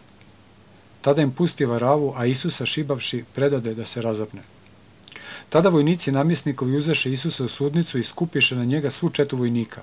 I svukavši ga, obukoše mu purpurni ogrtač i opletavši vijenac od trnja, metnuše mu na glavu i dadoše mu trsku u desnicu. I kleknuvši na koljena pred njim, rugahu mu se govoreći, zdravo care judejski. I pljunuvši na njega, uzeše trsku i biše ga po glavi. I kad mu se narugaše, svukoše s njega ogrtač i obukoše ga u haljine njegove i povedoše da ga razapne. I izlazeći, nađuše čovjeka iz Kirine po imenu Simona i natjeraše ga da mu ponese krst. I došavši na mjesto koje se zove Golgota, to jest mjesto lobanje, dadoše mu da pije ocat pomiješan sa žuči i okusivši nehtje da pije. A kada ga razapeše, razdijeliše haljine njegove, bacivši kocku. I sjeđahu ondje, te ga čuvahu. I staviše mu iznad glave krivicu njegovu napisanu. Ovo je Isus, car judejski. Tada raspeše s njim dva razbojnika, jednog s desne i jednoga s lijeve strane. A koji prolažahu, huljahu na njega mašući glavama svojim i govoreći, ti koji hram razvaljuješ i za tri dana sagrađuješ, spasi sam sebe ako si sin Božiji, siđi sa krsta. A tako i pravosveštenici sa književnicima, starješinama i farisejima podsmijevajući se govorahu. Druge spase, a sebe ne može da spase. Ako je car Izraeljev, neka siđe sad s krsta, pa ćemo vjerovati u njega. Uzdao se u Boga, neka ga izbavi sad ako mu je po volji, jer govoraše ja sam sin Božiji. Tako isto je razbojnici raspeti s njim rugahu mu se. A od šestoga časa bi tama po svoj zemlji do časa devetoga. A oko devetoga časa povika Isus iz svega glasa govoreći ili ili lima savahtani, to jest Bože moj, Bože moj, zašto si me ostavio? A neki od onih što stajahu ondje, čuši to, govorahu, ovaj zove Iliju. I odmah otrča jedan od njih, te uze sunđer i napuni octa, pa natače na trsku, te ga pojaše. A ostali govorahu, ostavi da vidimo hoće li doći Ilija da ga izbavi. A Isus opet povika iz svega glasa i ispusti duh. I gle, zavesa hrama razrije se na dvoje od gornjega kraja do donjega, i zemlja se potrese i kamenje se raspade. I grobovi se otvoriše i ustadoše mnoga tijela svetih koji su pomrli i izišavši iz grobova po vaskrsenju njegovu, uđeše u sveti grad i pokazaše se mnogima. A kapetan i koji s njim čuvahu Isusa, vidjevši da se zemlja trese i šta bi, uplašiše se vrlo, govoreći, zaista ovaj bijaše sin Božiji. I ondje bijahu i gledahu iz daleka mnoge žene koje su išle za Isusom iz Galileje i služile mu, među kojima bijaše Marija Magdalina i Marija Mati Jakovljeva i Josijina i Mati sinova Zevedejevih. A kad bi uveče, dođe čovjek bogat iz Arimateje, po imenu Josif, koji je također bio učenik Isusov. Ovaj, pristupivši Pilatu, zamoli za tijelo Isusova. Tada Pilat zapovjedi da mu dadu tijelo. I uzevši Josif tijelo, zavi ga u platno čisto i stavi ga u svoj novi grob što je bio isjekao u kamenu i navalivši veliki kamen na vrata od groba, otide. A ondje bješe Marija Magdalina i druga Marija koje sjeđahu prema grobu. Sutra dan pak po petku sabraše se preosveštenici fariseji kod Pilata, govoreći, Gospodaru, sjeti smo se da onaj varalica kaza još za života poslije tri dana ustaću. Zato zapovjedi da se utvrdi grob do trećega dana, da ne dođu kako učenici njegovi noću, da ga ne ukradu i ne kažu narodu. Ustade iz mrtvih. I bit će posljednja prevara gora od prve. Reče im Pilat, imate stražu, idite te utvrdite kako znate a oni otišavši utvrdiše grob sa stražom i zapečatiše kamen. Glava 28. Vaskrsenje Hristovo i javljanje mironosicama i učenicima. Sinedrion potkupljuje stražu. Vaskrsli gospod šalje apostole da propovjedaju i krštavaju po svijetu. A pošto minu subota na osvitku prvoga dana nedelje dođeše Marija Magdalina i druga Marija da osmotre grob. I gle, zemlja se zatrese veoma, jer anđeo gospodnji siđe s neba i pristupivši odvali kamen od vrata grobnih i sjeđaše na njemu. A lice njegovo bijaše kao munja i odijelo njegovo bijelo kao snijeg. I u strahu od njega uzdrhtaše stražari i posludaše kao mrtvi. A anđeo odgovarajući reče ženama, ne bojte se vi, jer znam da Isusa raspetoga tražite. Nije ovdje, jer ustade kao što je kazao, hodite da vidite mjesto gdje je ležao gospod I idite brzo i recite učenicima njegovim da ustade iz mrtvih. I gle, on će pred vama otići u Galileju. Tamo ćete ga vidjeti, eto kazah vam. I izišavši brzo iz groba sa strahom i radošću velikom pohitaše da jave učenicima njegovim. A kada iđahu da jave učenicima njegovim i gle, srete ih Isus govoreći, radujte se. A one pristupivši uhvatiše se za noge njegove i poklonišemo se. Tada im reče Isus, ne bojte se, idite te javite braći mojoj neka idu u Galileju i tamo će me vidjeti. A dok one iđahu, gle, neki od stražara dođeše u grad i javiše prvosveštenicima sve što se dogodilo. A oni sastavši se sa starješinama učiniše vijeće i dadoše vojnicima dovoljno novaca govoreći. Kažite, učenici njegovi dođeše noću i ukradoše ga dok smo mi spavali. I ako to čuje namjesnik, mi ćemo ga uvjeriti i vas osloboditi brige. A oni uzevši novce učiniše kao što bijahu naučeni i razglasi se ova riječ među idejcima do danas. A jedanest učenika otidoše u Galileju na goru kuda im je zapovjedio Isus. I kad ga vidješe, pokloniše mu se, a neki posumnjaše. I pristupivši Isus, reče im govoreći, dade mi se svaka vlast na nebu i na zemlji. Idite dakle i naučite sve narode krsteći ih u ime Oca i Sina i Svetoga Duha, učeći ih da drže sve što sam zapovjedio. I evo, ja sam sa vama u sve dane do svršetka vijeka. Amin.